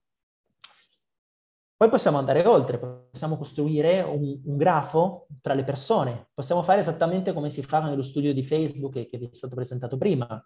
Due persone sono, sono unite, per esempio, se compaiono nello stesso documento e quindi in questa maniera si formeranno, per esempio, i cluster dei, dei, patrizi che avevano in mano il commercio, perché questi saranno comunati da delibere che parlano di commercio. E poi possiamo guardare questa mappa a un livello un po' più distanziato e costruire una mappa simile a quella che si è costruita per Firenze, però in maniera automatica su una quantità di dati molto più grande, costruire una rete sociale delle, delle famiglie e per esempio vedere quali detenevano il potere, vedere se veramente esistevano le case, ve- le case vecchie, le case nuove, vedere se nel tempo Venezia è veramente passato da un periodo democratico iniziale, repubblicano del mezzo e poi oligarchico verso la fine, vedendo l'evoluzione di questa rete nel tempo. E possiamo realmente fare delle domande che prima non avevamo assolutamente il contesto per farle. Quindi, ricapitolando questa prima parte di introduzione ai long data, se dovete ricordare qualcosa di oggi, ricordatevi che i long data sono il, il, the intangible record of our past. E ricordiamoci che l'Italia è un paese ricco di long dati di Facebook, di WhatsApp o di WeChat, di Baidu o di Amazon, noi non li avremo e quindi tutte le conclusioni che si possono fare le faranno i loro ricercatori e le loro industrie. Bene, i long data sono per una, una share enorme nel nostro territorio nazionale, quindi rappresentano un vero, una vera miniera d'oro, proprio senza, senza mezzi termini. E poi una volta che trattiamo i long data possiamo fare tutta una serie di, di, di, domande long data. Per esempio possiamo vedere come, e ve lo faccio vedere poi in qualche esempio, come all'epoca si reagiva agli eventi di pandemia o a eventi come quelli delle migrazioni. Ovviamente tutto questo è ancora più importante oggi dopo il Covid, perché molti di voi sapranno che la ricerca storica nell'archivio di Venezia, per esempio, durante il periodo del Covid praticamente si è fermata. Se i dati fossero stati organizzati tutti in questa maniera, non ci sarebbe stato nessun problema a continuare quals- da qualsiasi parte del mondo la ricerca scientifica e storica su questi dati. Un'altra cosa per cui le dati sono importanti è che realmente forniscono un backup di tutte queste informazioni. No? Immaginate che succede se qualcuno dà fuoco all'archivio di Stati di Venezia domani e, e noi non abbiamo fatto una copia. Una copia con tutti gli interlink, una copia vera, non solo delle foto. Già le foto non esistono per tutto. E poi un'altra cosa molto importante, ehm, i long data offrono un modo per superare anche la barriera linguistica. Uno del, degli obiettivi dei long data è anche quello di permettere a ricercatori che non sono versati nell'idioma antico di un particolare paese di comunque porre domande di carattere storico. Perché se io voglio fare una storia comparata, per esempio, di tutto il Mediterraneo, dovrò studiare le, il, le minute del divano di Istanbul e compararle con quelle del Senato veneziano, perché erano le due potenze che, per esempio, durante il periodo che ha portato la guerra di Lepanto erano in contrasto. Ebbene, però molto spesso, se uno sa leggere quel particolare dialetto del, delle, dei, dei, libri del divano del, in turco, magari non sa leggere il latino medievale veneziano e viceversa. E se ora voglio includere anche documenti che vengono dall'Iran, come faccio? Bene, solo trovando anche metodi per permettere ai ricercatori di tutto il mondo di superare questa barriera, si potrà arrivare ad avere un, uno studio comparato.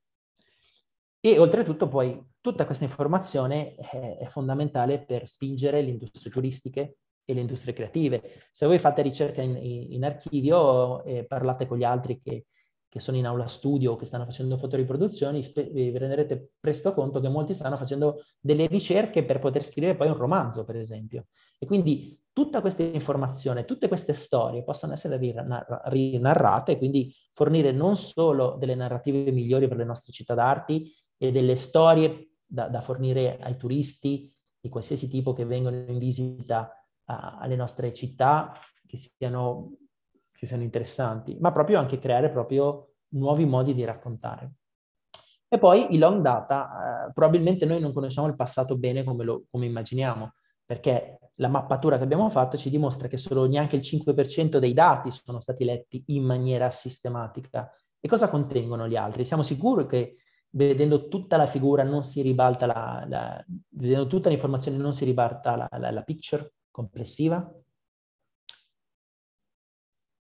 Ok, bene. Allora, questa era... Adesso quanto tempo è passato?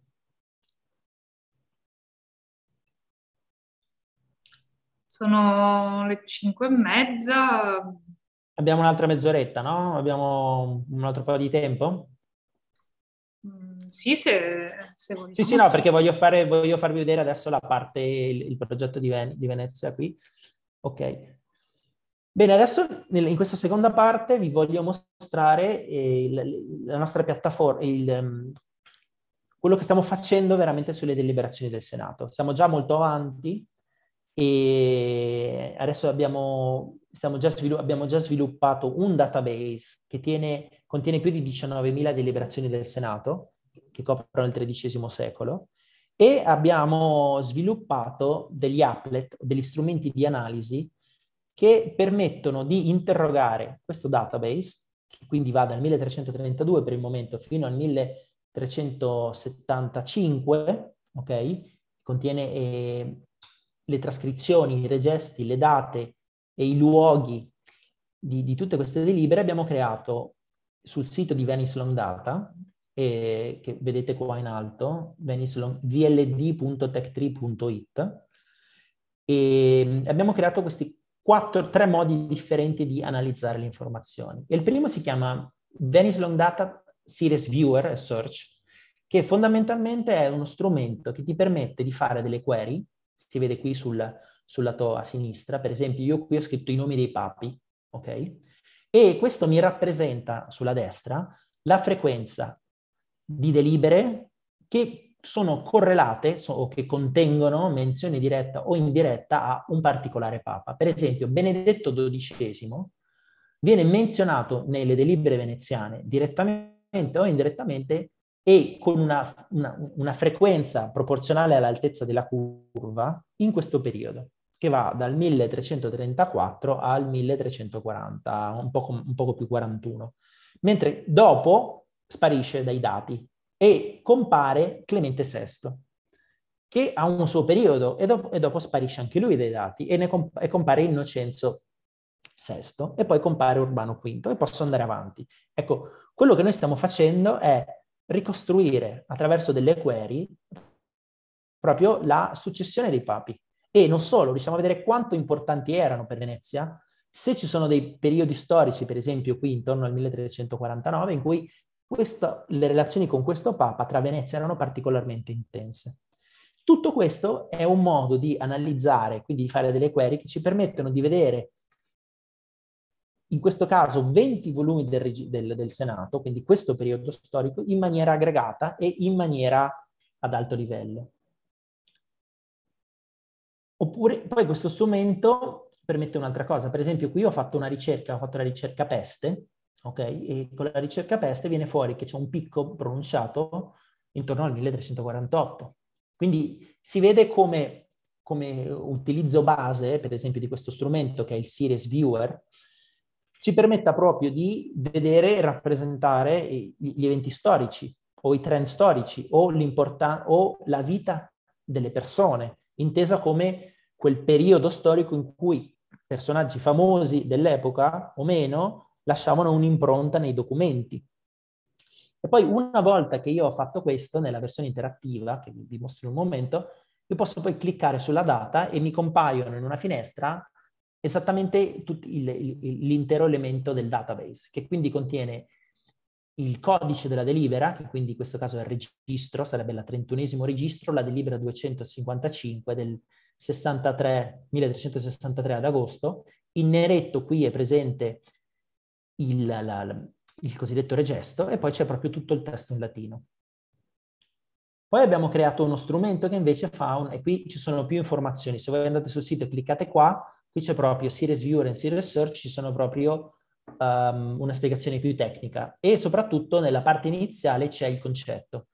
in particolare questi che si chiamano Archival Series Search Tools sono basati sull'idea che la continuità e omogeneità temporale, continuità temporale e omogeneità delle serie archivistiche, come l'abbiamo vista prima nella series block, cioè abbiamo visto che, il da, che l'archivio di Venezia è conservato in maniera molto omogenea e continua. Questo ci permette, quindi ci offre no, un, un, modo effettivo di esplorare le, le, le, le source storiche a livello um, coarse grain, cioè a livello un attimo distanziato, nel loro insieme, vedendo il tutto e dimenticandoci un momento della parte però con l'opportunità in qualsiasi momento di accedere all'originale, che vi ho fatto vedere nella finestra il, l'originale trascritto, ma poi abbiamo anche il, il, link con l'immagine che sta direttamente in archivio di Stato. Quindi uno può fare una ricerca, per esempio, del tema della peste, vede che c'è il picco principale, ma poi vede che ci sono anche picchi secondari, va a vedere che magari è un ritorno della peste o magari è una particolare politica che è stata attuata a Creta per ripopolare la, l'isola e va a direttamente a vedere tutte le delibere una per una trascritte e se vuole c'è proprio anche il rimando all'immagine originale. E qui poi c'è la spiegazione di tutti i tipi di ricerca. Ovviamente si possono fare ricerche di vario tipo e adesso um, vi faccio vedere mi, un tipo di ricerca, poi vi invito a, a leggerlo con calma. Questa è una delle ricerche molto utili che ci permette proprio di superare la language barrier. Qui questo plot rappresenta due cose, ci sono due linee. La linea verde, la linea blu è la parola Zara nel campo dei regesti, perché vedete io posso scegliere se fare queste, questi grafi nel campo dei regesti o nel campo dei testi. Bene, io so, sono per esempio un ricercatore, non so, cinese. Bene, sono interessato alla città di Zara. Bene, so come si chiama Zara oggi, ok? E soprattutto poi i regesti, essendo in, in linguaggio moderno possono essere ehm, trad- tradotti in maniera automatica a livello orizzontale per tutte le lingue moderne, perché oggi esistono strumenti precisi per tradurre, per esempio, i gesti dall'italiano all'inglese o al cinese. Quindi ammettiamo che lui scriva Zara nel suo idioma e gli viene fuori la curva azzurra. Adesso dopo può con l'altro strumento aprire un po' di delibere con Zara e iniziare a guardare il testo originale e si renderà conto che la la, la traduzione nel, nel linguaggio, nell'idioma corretto del, del, delle delibere trecentesche veneziane, in realtà era iadre o iadra.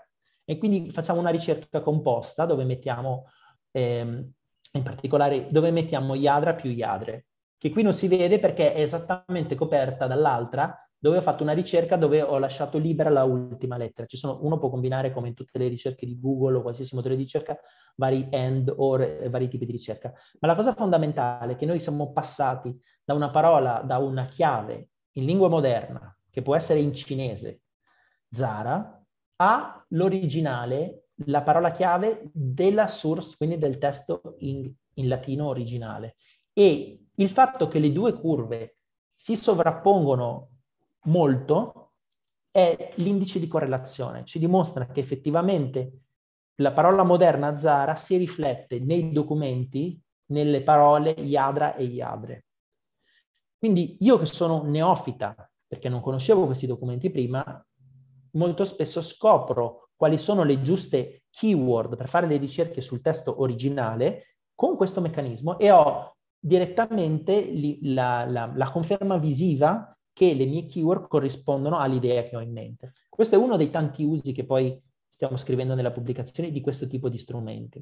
Per esempio, queste qui sono tutte le varianti eh, name variants di Treviso, che si chiamava Treviso, Tarviso, Trevisium, perché all'epoca non c'era una, una, costanza nel modo di fare lo spelling dei nomi. Però vedete che se io sommo tutti questi differenti modi di scrivere Treviso, ottengo una curva che coincide molto bene con la parola Treviso nei regesti. E poi uno può anche addirittura indagare perché ci sono differenze e tutta un'altra serie di cose, questo è un uso più raffinato di questo tipo di strumento. Bene, poi dopo l'altro strumento è quindi se questo rappresenta l'evoluzione temporale delle, delle, delle delibere, il map search ovviamente rappresenta l'evoluzione spaziale. Questo è un tool che quindi complementare all'altro e questi tool sono una piattaforma e si possono usare tutti insieme. Qui faccio la ricerca, cerco la parola chiave cittadinanza nei registri. Bene, mi viene fuori una bubble map dove ogni, ogni luogo, perché le nostre delibere sono collegate con dei luoghi, ha una, una bubble, un cerchio di area proporzionale al numero di delibere che trattano quel tema legato alla mia keyword. E quindi immediatamente, a parte la, la bubble di Venezia, che è sempre collegata alle, alle, alle, cittadinanze, ci facciamo una mappa immediata del flusso di da dove immigrava la gente a Venezia. Innanzitutto uno vede che immigrava soprattutto dal nord Italia, da Siena, Ancona in su, fino a Milano, Monza. Questo era il triangolo di immigrazione. E poi c'era un po' di immigrazione da, diciamo, le colonie, Creta, Cipro e Negroponte. E si vede, per esempio, si scopre così in un, in, in un momento che Lucca, che è questo qui, è la principale città di immigraz- immigrazione verso Venezia. E poi cliccando sopra una di queste, per esempio qui ho cliccato sopra Rimini, ho la query congiunta cittadinanza e Rimini e quindi qui vado poi nel dettaglio e le posso vedere tutte quante. E anche qui ci sono più informazioni riguardo a questo se volete leggerle nella, nella, nella sottopagina. E poi il terzo, che invece è l'applicazione diretta delle teorie delle reti, è l'aggregazione semantica. Quindi questo è un modo per ognuno dei registri che ci sono, quindi per ognuno di quei piccoli puntini noi abbiamo usato abbiamo prima abbiamo segmentato le delibere, noi. avendo le delibere segmentate ora le possiamo organizzare in una forma che non è solo temporale ma è semantica e quindi si crea naturalmente una mappa di questo tipo, un albero. E qui in particolare lo strumento di ricerca ti permette di dire, di fare una ricerca sul registro e poi hai, con vari colori ti colora le tue keyword. Io per esempio ho cercato galere. Bene, vedete che cercando galere mi viene fuori un ramo in particolare e si vede bene che una delle cose che faceva il Senato veneziano era legiferare, meglio, deliberare sopra il tema che aveva a che fare con le galere, perché sappiamo benissimo che Venezia aveva questo interesse. Però ora noi possiamo poi mappare tutto una singolo, eh, un registro e vedere come ognuno di questi alberi, di queste sottoparti, realmente corrisponda a una delle varie attività che faceva il Senato. Qui la dimensione del pallino adesso è proporzionale a quanto lunga era la delibera.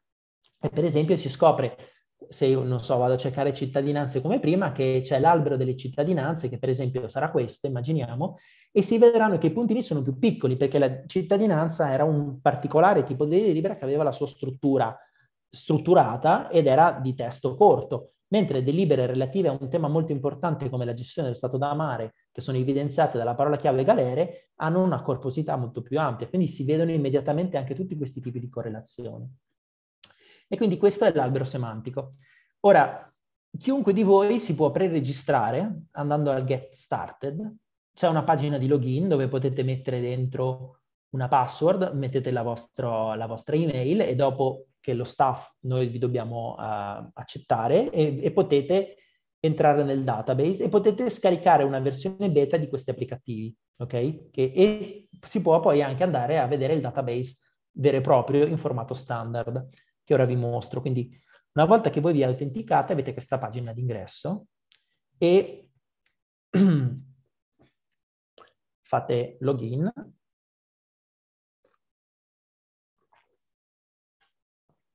Abbiamo il database, che è questo, Quindi qui ci sono tutte le, le delibere e qui c'è la possibilità di fare una ricerca tipica, quindi per esempio cittadinanza, clicco cittadinanza e mi vengono fuori tutte quante le concessioni di cittadinanza. Qui ho fatto una ricerca nel campo del, um, del gesto, posso fare una ricerca invece nel campo um, del, del, testo integrale, quindi in questo caso vado a cercare privilegium, do l'ok e, e, e mi, dà, mi restituisce tutte quante invece quelle che contengono privilegium e che, che sono in corrispondenza quasi bionivoca con, con cittadinanza, perché se, adesso ve lo faccio vedere con, col tool. E questo è lo strumento su cui poi quelle applicazioni che vi ho fatto vedere, che sono il, il Venice Long Data Platform, eh, va, va, a fare le domande. Quindi voi potete interagire con il database in maniera tradizionale o in maniera mh, mm, come dire, eh, integrale con questi strumenti di analisi che fanno tutta un'elaborazione del dato. Quindi chiunque di voi si può, si può registrare, e, mentre per scaricare gli applet uno va qua, schiaccia download e poi avrà un token di autentificazione che permette alle app che, che gireranno sul vostro computer di interfacciarsi col database. È necessario un software di ricerca scientifica che si chiama Matematica, come spiegato, per fare runnare questo, perché per il momento è un tool scientifico. Chiaramente in futuro, anche in collaborazione con la Fondazione, abbiamo intenzione di offrire questo tool in una maniera uh, di più facile accesso. Ora, negli ultimi due minuti vi faccio vedere come funziona se vi scaricate questo tool. Voi vi troverete ad avere questo, questo piccolo pannello, un widget, che contiene il VLD Search. E ci sono, questi, ci sono i quattro strumenti di ricerca. In particolare, cliccando qua, questo è il Series Viewer, che è quello che vi ho fatto vedere prima. E uno di quelli che abbiamo visto prima. Per esempio, se io adesso cerco cittadinanza, del corpo dei regesti, mentre nel corpo dei testi vado a cercare privilegium, ok? E poi faccio qua click to view graph, mi viene fuori una curva, aspetta che sta caricando l'altra, mi genera la frequenza in diretta, quindi si collega al sito, scarica le informazioni, eh, fa fondamentalmente quelle, quelle che abbiamo fatto prima a mano, però ora ve le rappresenta graficamente. E questa curva fondamentalmente vi dimostra che uh, la giusta parola nel corpo latino originale della nostra fonte storica è privilegio, non è cittadinanza. Se voi provate con, una, con, parola, con un, un'altra parola latina che si lega al tema di cittadinanza, no, non lo incontrerete, dovete incontrare privilegio. E tra l'altro vedete che c'è qualche leggera discrepanza. Ebbene, scopriremo che le discrepanze sono dovute al fatto che c'è un diverso spelling della parola privilegium in, in, certi registri quando, diciamo, gli scrivani erano differenti e fondamentalmente lo scrivono con due lettere. Quindi adesso lo rigenero. Aspetta che vado a vedere. Un attimo. Ok, adesso l'ho rigenerato. Vedete che questa è una ricerca privilegium, e se ci vado sopra, qui c'è scritto privilegium e questa è cittadinanza, mentre qui vedete che questo picco, per esempio, si sono completamente schiacciati, sovrapposti. Quindi vedete che effettivamente la parola privilegium nelle sue due varianti è la parola che quasi in maniera univoca individua tutte le delibere che hanno a che fare con le cittadinanze. Quindi questo mi ha insegnato una cosa. Uno che un domani, quando avrò a disposizione per esempio solo delle trascrizioni, ho imparato su questa porzione del dato quali sono le parole chiavi, per esempio, per raggruppare in maniera automatica tutte le cittadinanze e poi studiare, per esempio, il flusso di immigrazione verso Venezia. Allo stesso tempo scopro eh, se sono uno straniero e, e, e, e, uso la versione inglese di questo, di questo campo perché i recessi sono presenti anche in inglese, scrivo citizenship. Poi apro una, una citizenship, no? quindi io vado con l'altro strumento che è questo dove si fa, che è similare però cambia cambia solo il fatto che qui mi dà accesso diretto a tutte quante le cittadinanze, per esempio, per anno. Professore? Sì. Si sì? deve essere bloccato al download, non vediamo più. Ah, non vedete... No, aspetta, no, sto? Sì, scusami, qua siamo. Cosa Eccolo, vedete adesso? Adesso, adesso il desktop. Ah, ok, perfetto. Adesso lo vedete? Vedete sì, i grafici? Sì. Ah, ok, sì. quindi vi siete persi questa cosa. Aspetta che ve la ripeto. Sì. Allora, qui, questo qui è il, è il, desktop, quindi quando voi scaricate avete a disposizione questo widget sul desktop. Ci sono le quattro applicativi, il Series Viewer, il Series Search, il Series Map e il Semantic Search che vi ho descritto prima. Clicco su questo e mi viene fuori il pannello del Series Viewer. Ora io qui posso fare ricerche con parole chiavi sui regesti o sui testi. Allora, quello che, fa- che, avevo fatto qua era una prima ricerca dove avevo sovrapposto cittadinanza sui, te- sui regesti, scritto qua sopra, e privilegium sui testi. E vedo che c'è una buona sovrapposizione, ma non è completa. Allora vi ho dimostrato che, se, che il motivo per cui, che se invece andavo a fare la, sull'altro, andavo a ricercare sui testi privilegium e privilege, cioè c'è una, un, uno spelling variant, come si dice, si vede per esempio, guardate questi due picchi, come si sovrappongono. Quindi realmente sono arrivato a dimostrare che questa combinazione, queste parole chiavi nei testi originali sono quelle che corrispondono nel gergo moderno a cittadinanza. E quindi non solo questo è interessante di per sé e ora mi permette con un solo clic, per esempio, di organizzare tutte le, di estrarre dal mio database tutte le delibere che hanno a che fare le cittadinanze, sulle quali puoi fare uno studio particolare, che è per esempio quello che stiamo facendo nella nostra pubblicazione. Stiamo studiando non solo da dove arrivano, ma anche in quali sestrieri e in quale contrade vanno ad alloggiare persone che vengono da diverse aree e come poi questo flusso si è evoluto nel tempo. Però allo stesso modo mi permette di apprendere, se io per esempio sono uno straniero eh, e scrivo citizenship e non so quale sia la parola corretta, bene, io posso scrivere citizenship, posso esplorare con questo altro tool che è quello che mi permette, che mi permette di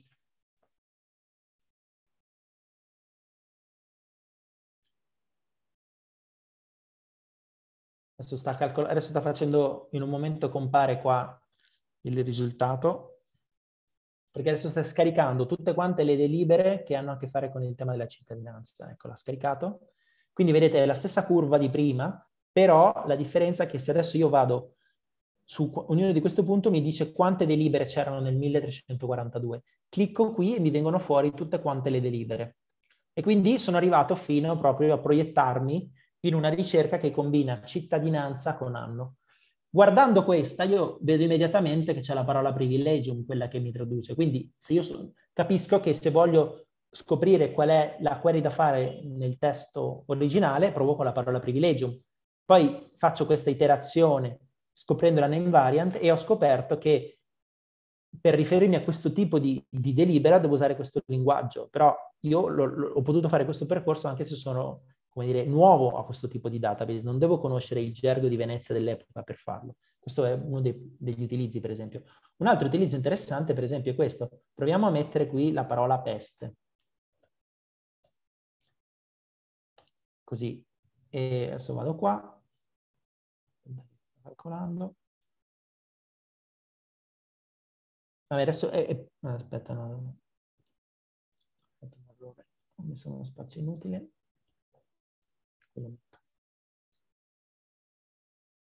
Vedete che c'è, ora ho messo, ho fatto anche una ricerca, sto correlando delibere che parlano di cittadinanza con delibere che parlano di peste.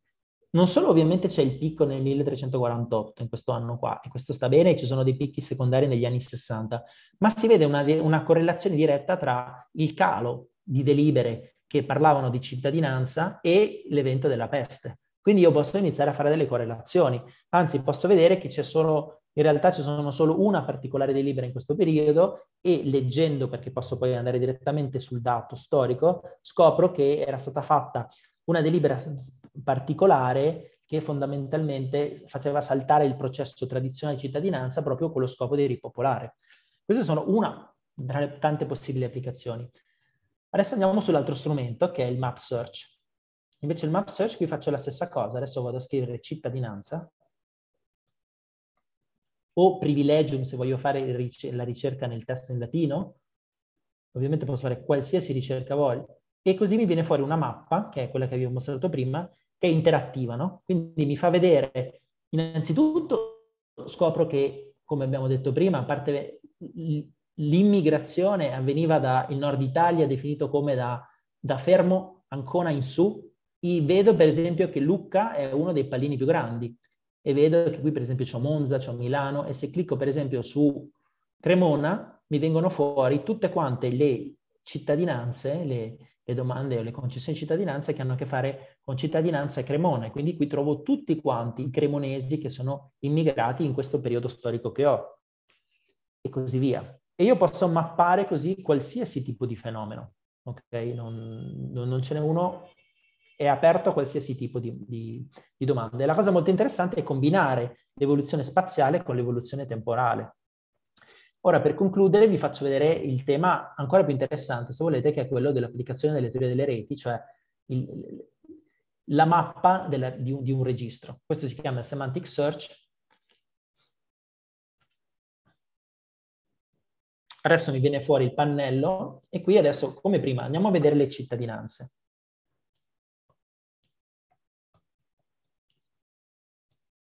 Scrivo cittadinanza, ho usato il verde perché abbiamo usato il colore verde prima, solo per quello. Adesso lui sta elaborando la mappa semantica dell'archivio, del, del, registro, quindi vedete, questa è una cosa molto interessante. Allora, questo è il registro Senato Misti 25.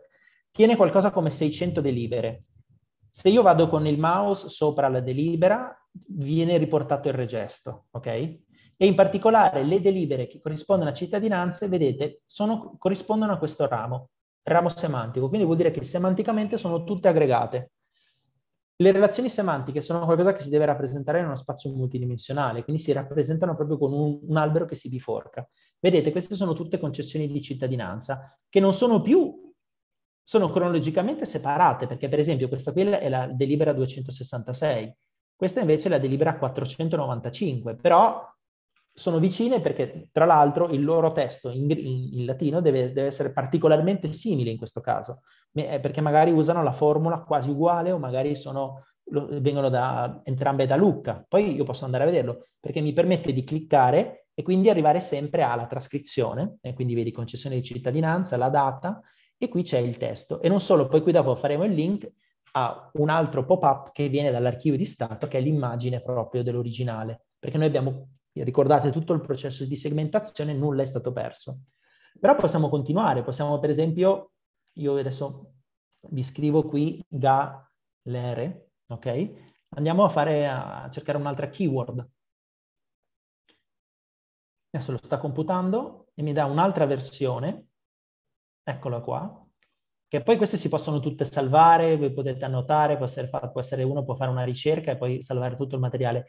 E ora vede che c'è tutto questo nuovo albero, che è l'albero delle galere, quello che, era, che avevo mostrato prima nell'esempio, interattivo. E quindi uno inizia a vedere che qui si parla di galere, quindi queste sono tutte delibere, vedi, risposta darsi al Doge di Genova, ribadendo la richiesta di risarcimenti e danni subiti, nel viaggio delle galere di Romania. Quindi si scoprirà che molto di questo lavoro ha a che fare con l'organizzazione delle mude. E infatti tra queste, eh, quello che si scopre è che ognuno dei registri ha un ramo, quindi un cluster, un, un, un sottoregistro ben definito di delibere che parlano di mare e si vede proprio anche ad occhio il peso, si vede che per esempio il mare occupa più importanza che le cittadinanze, però anche le cittadinanze sono sempre un cluster ben definito che si conserva nel tempo. E poi, e appunto, uno vede che quindi qui c'è tutto quanto il lavoro di organizzare la muda di, di Cipro le altre cose. Uno estrae l'informazione e arriva fino al documento. Quindi vedete come se adesso torniamo indietro alla mappa originale dove avevamo mappato l'archivio a partire dai fondi, dalle serie, dalle sottoserie, ecco, le unità archivistiche le abbiamo abbiamo trasformato in filamenti, in, in, punti all'interno di questi filamenti di DNA che sono le serie e ora ognuno di quei quadratini l'abbiamo esploso in un albero e l'abbiamo organizzato le informazioni di maniera semantica. E quindi fondamentalmente stiamo passando dall'archivistica alla storia, perché nel momento che adesso noi continuiamo con questa mappa, adesso per esempio qua metto un'altra cosa, scrivo Ungheria, faccio un'altra, un'altra, un'altra query, cioè aggiungo un'altra colorazione, i nodi che hanno a che fare con l'Ungheria, vedete che l'Ungheria in questo particolare periodo storico era molto importante perché c'era Luigi D'Angiò e è un periodo in cui c'è uno scontro molto forte tra Venezia e l'Ungheria, sarà il momento in cui Venezia perde la Dalmazia. Ma vedete che è un'altra parte semantica, è un'altra parte del lavoro, un altro cluster. Si scoprirà, se poi uno continua, per esempio cercando relazioni con la Chiesa, che tutto questo ramo ha a che fare con la politica estera. Questo è il ramo che ha a che fare con il commercio.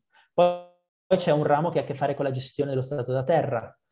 E tutta un'altra, vi faccio vedere, per esempio, se io adesso, giusto l'ultimo esempio, poi concludiamo, scrivo Brescia, perché questo è un periodo in cui Venezia si sta anche espandendo sulle rive del lago di Garda e la riviera di Brescia è, è importante. E quindi uno vede che qui c'è un altro cluster che sono tutte deliberazioni che hanno a che fare con l'organizzazione della recente della, del, della riviera bresciana. Ecco, uno continua con questo processo e si fa la propria mappa semantica dell'archivio che ha la virtù realmente di mostrarci cosa sta fa- stava facendo Venezia, no? Lo vedi proprio, cioè di cosa si occupavano, dato che il Senato all'epoca, sappiamo dagli storici, era il, cuore della Repubblica, ecco, dove era focalizzato, su quali temi, quali erano le preoccupazioni, con che peso, e, e, così via. E, quindi ognuno poi di questi cluster si presta a uno studio specifico. Per esempio su questo cluster del mare, no? che appunto poi io posso passare, io posso cambiare qua adesso e andare per esempio a un altro registro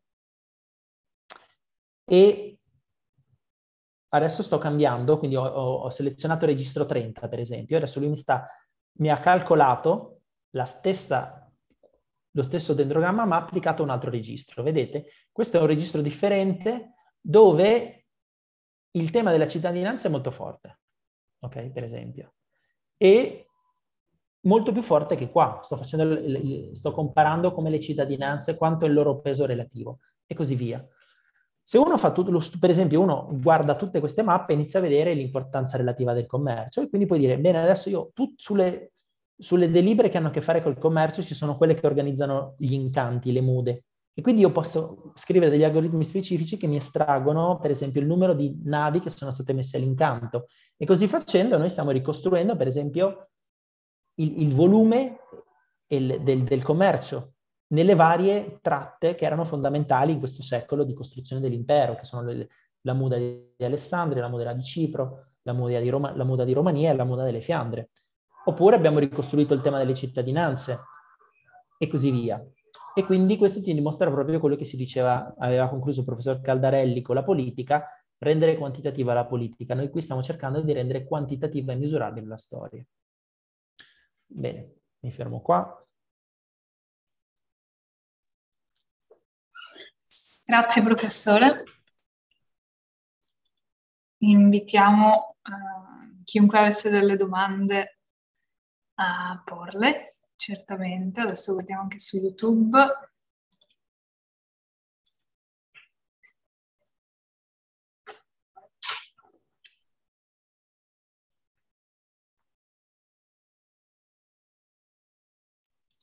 Nella chat ho messo il link, mi pare quello corretto sì, perfetto, per avere slotata. Sì, sì. E poi sì, perfetto. Segnali di apprezzamento. Grazie. Mi chiedevo, ehm, quindi a questo, a questo, punto sono uh, stati caricati dati per una porzione delle delibere, corretto? E, ehm, e, quindi poi in seguito, o probabilmente si sta già lavorando sulla trascrizione delle restanti delibere, Esattamente. Esattamente. trascrizione sì, eh, le, automatica. Le, sì, è automatica, eh, con, nel senso è trascrizione manuale fatta da, da storici per le varie mani e poi con l'empowerment e il supereroe dentro di noi gli permette proprio poi di fare dieci volte il lavoro che si faceva prima. Però è lo stesso lavoro, è soltanto un aiuto, no? Come prima si camminava e adesso si va in macchina, però eh, bisogna sapere dove andare, quindi il conducente deve sempre essere uno storico, deve sempre essere una persona che ha questi skill. Questi sono i nuovi skill che si dovranno integrare anche mm-hmm. nei curriculum del futuro. E quindi l'idea adesso è completare la trascrizione del Senato Misti, che si compone di 60 registri, e ne abbiamo circa 20 al momento, ne abbiamo circa 15 in fase di prevalidazione. E qui poi c'è tutta una storia molto interessante su come siamo riusciti a fare questo, e come il fatto di aver mappato l'archivio nello step precedente ci aveva permesso per esempio di scoprire che, di capire che i veneziani del 600 non erano capaci di leggere i documenti del 300 e quindi avevano commissionato delle copie. I copie che sono fedeli, anche se erano sempre state un po' uh, dimenticate da, da, da, dalla maggior parte degli storici che ovviamente avevano, avendo loro abilità principale, quella di leggere il documento, andavano direttamente sul documento. Ma il fatto che noi abbiamo a disposizione delle copie del 600 fa sì che la calligrafia sia buona abbastanza per, andare, per essere letta dalla trascrizione automatica. E non solo, essendo, state, essendo delle copie fatte di fila, la stessa mano perdura per 15 registri. Quindi veramente uno fa la trascrizione di 50 pagine e poi se ne porta a casa 15 registri. E poi i veneziani sono stati accorti in questa trascrizione da mantenere tutta l'informazione originale di come erano organizzate le pergamene. Quindi noi possiamo ricostruire la pergamena e quindi possiamo fornire allo storico una bozza del documento originale, non della copia seicentesca, che lui può validare. E quindi eh, abbiamo in questa maniera fatto una triangolazione con questa tattica che ci ha permesso di superare gli anni don, dove la, la calligrafia trecentesca era più difficile da leggere e ci permette quindi di dover affrontare gli originali solo già in 400, nel 400 inoltrato, dove era tutto una, già tutto un altro rigore calligrafico, almeno nei documenti che stiamo guardando. E, per, e quindi dopo ci avviciniamo. Quindi eh, la cosa è possibile. Ecco.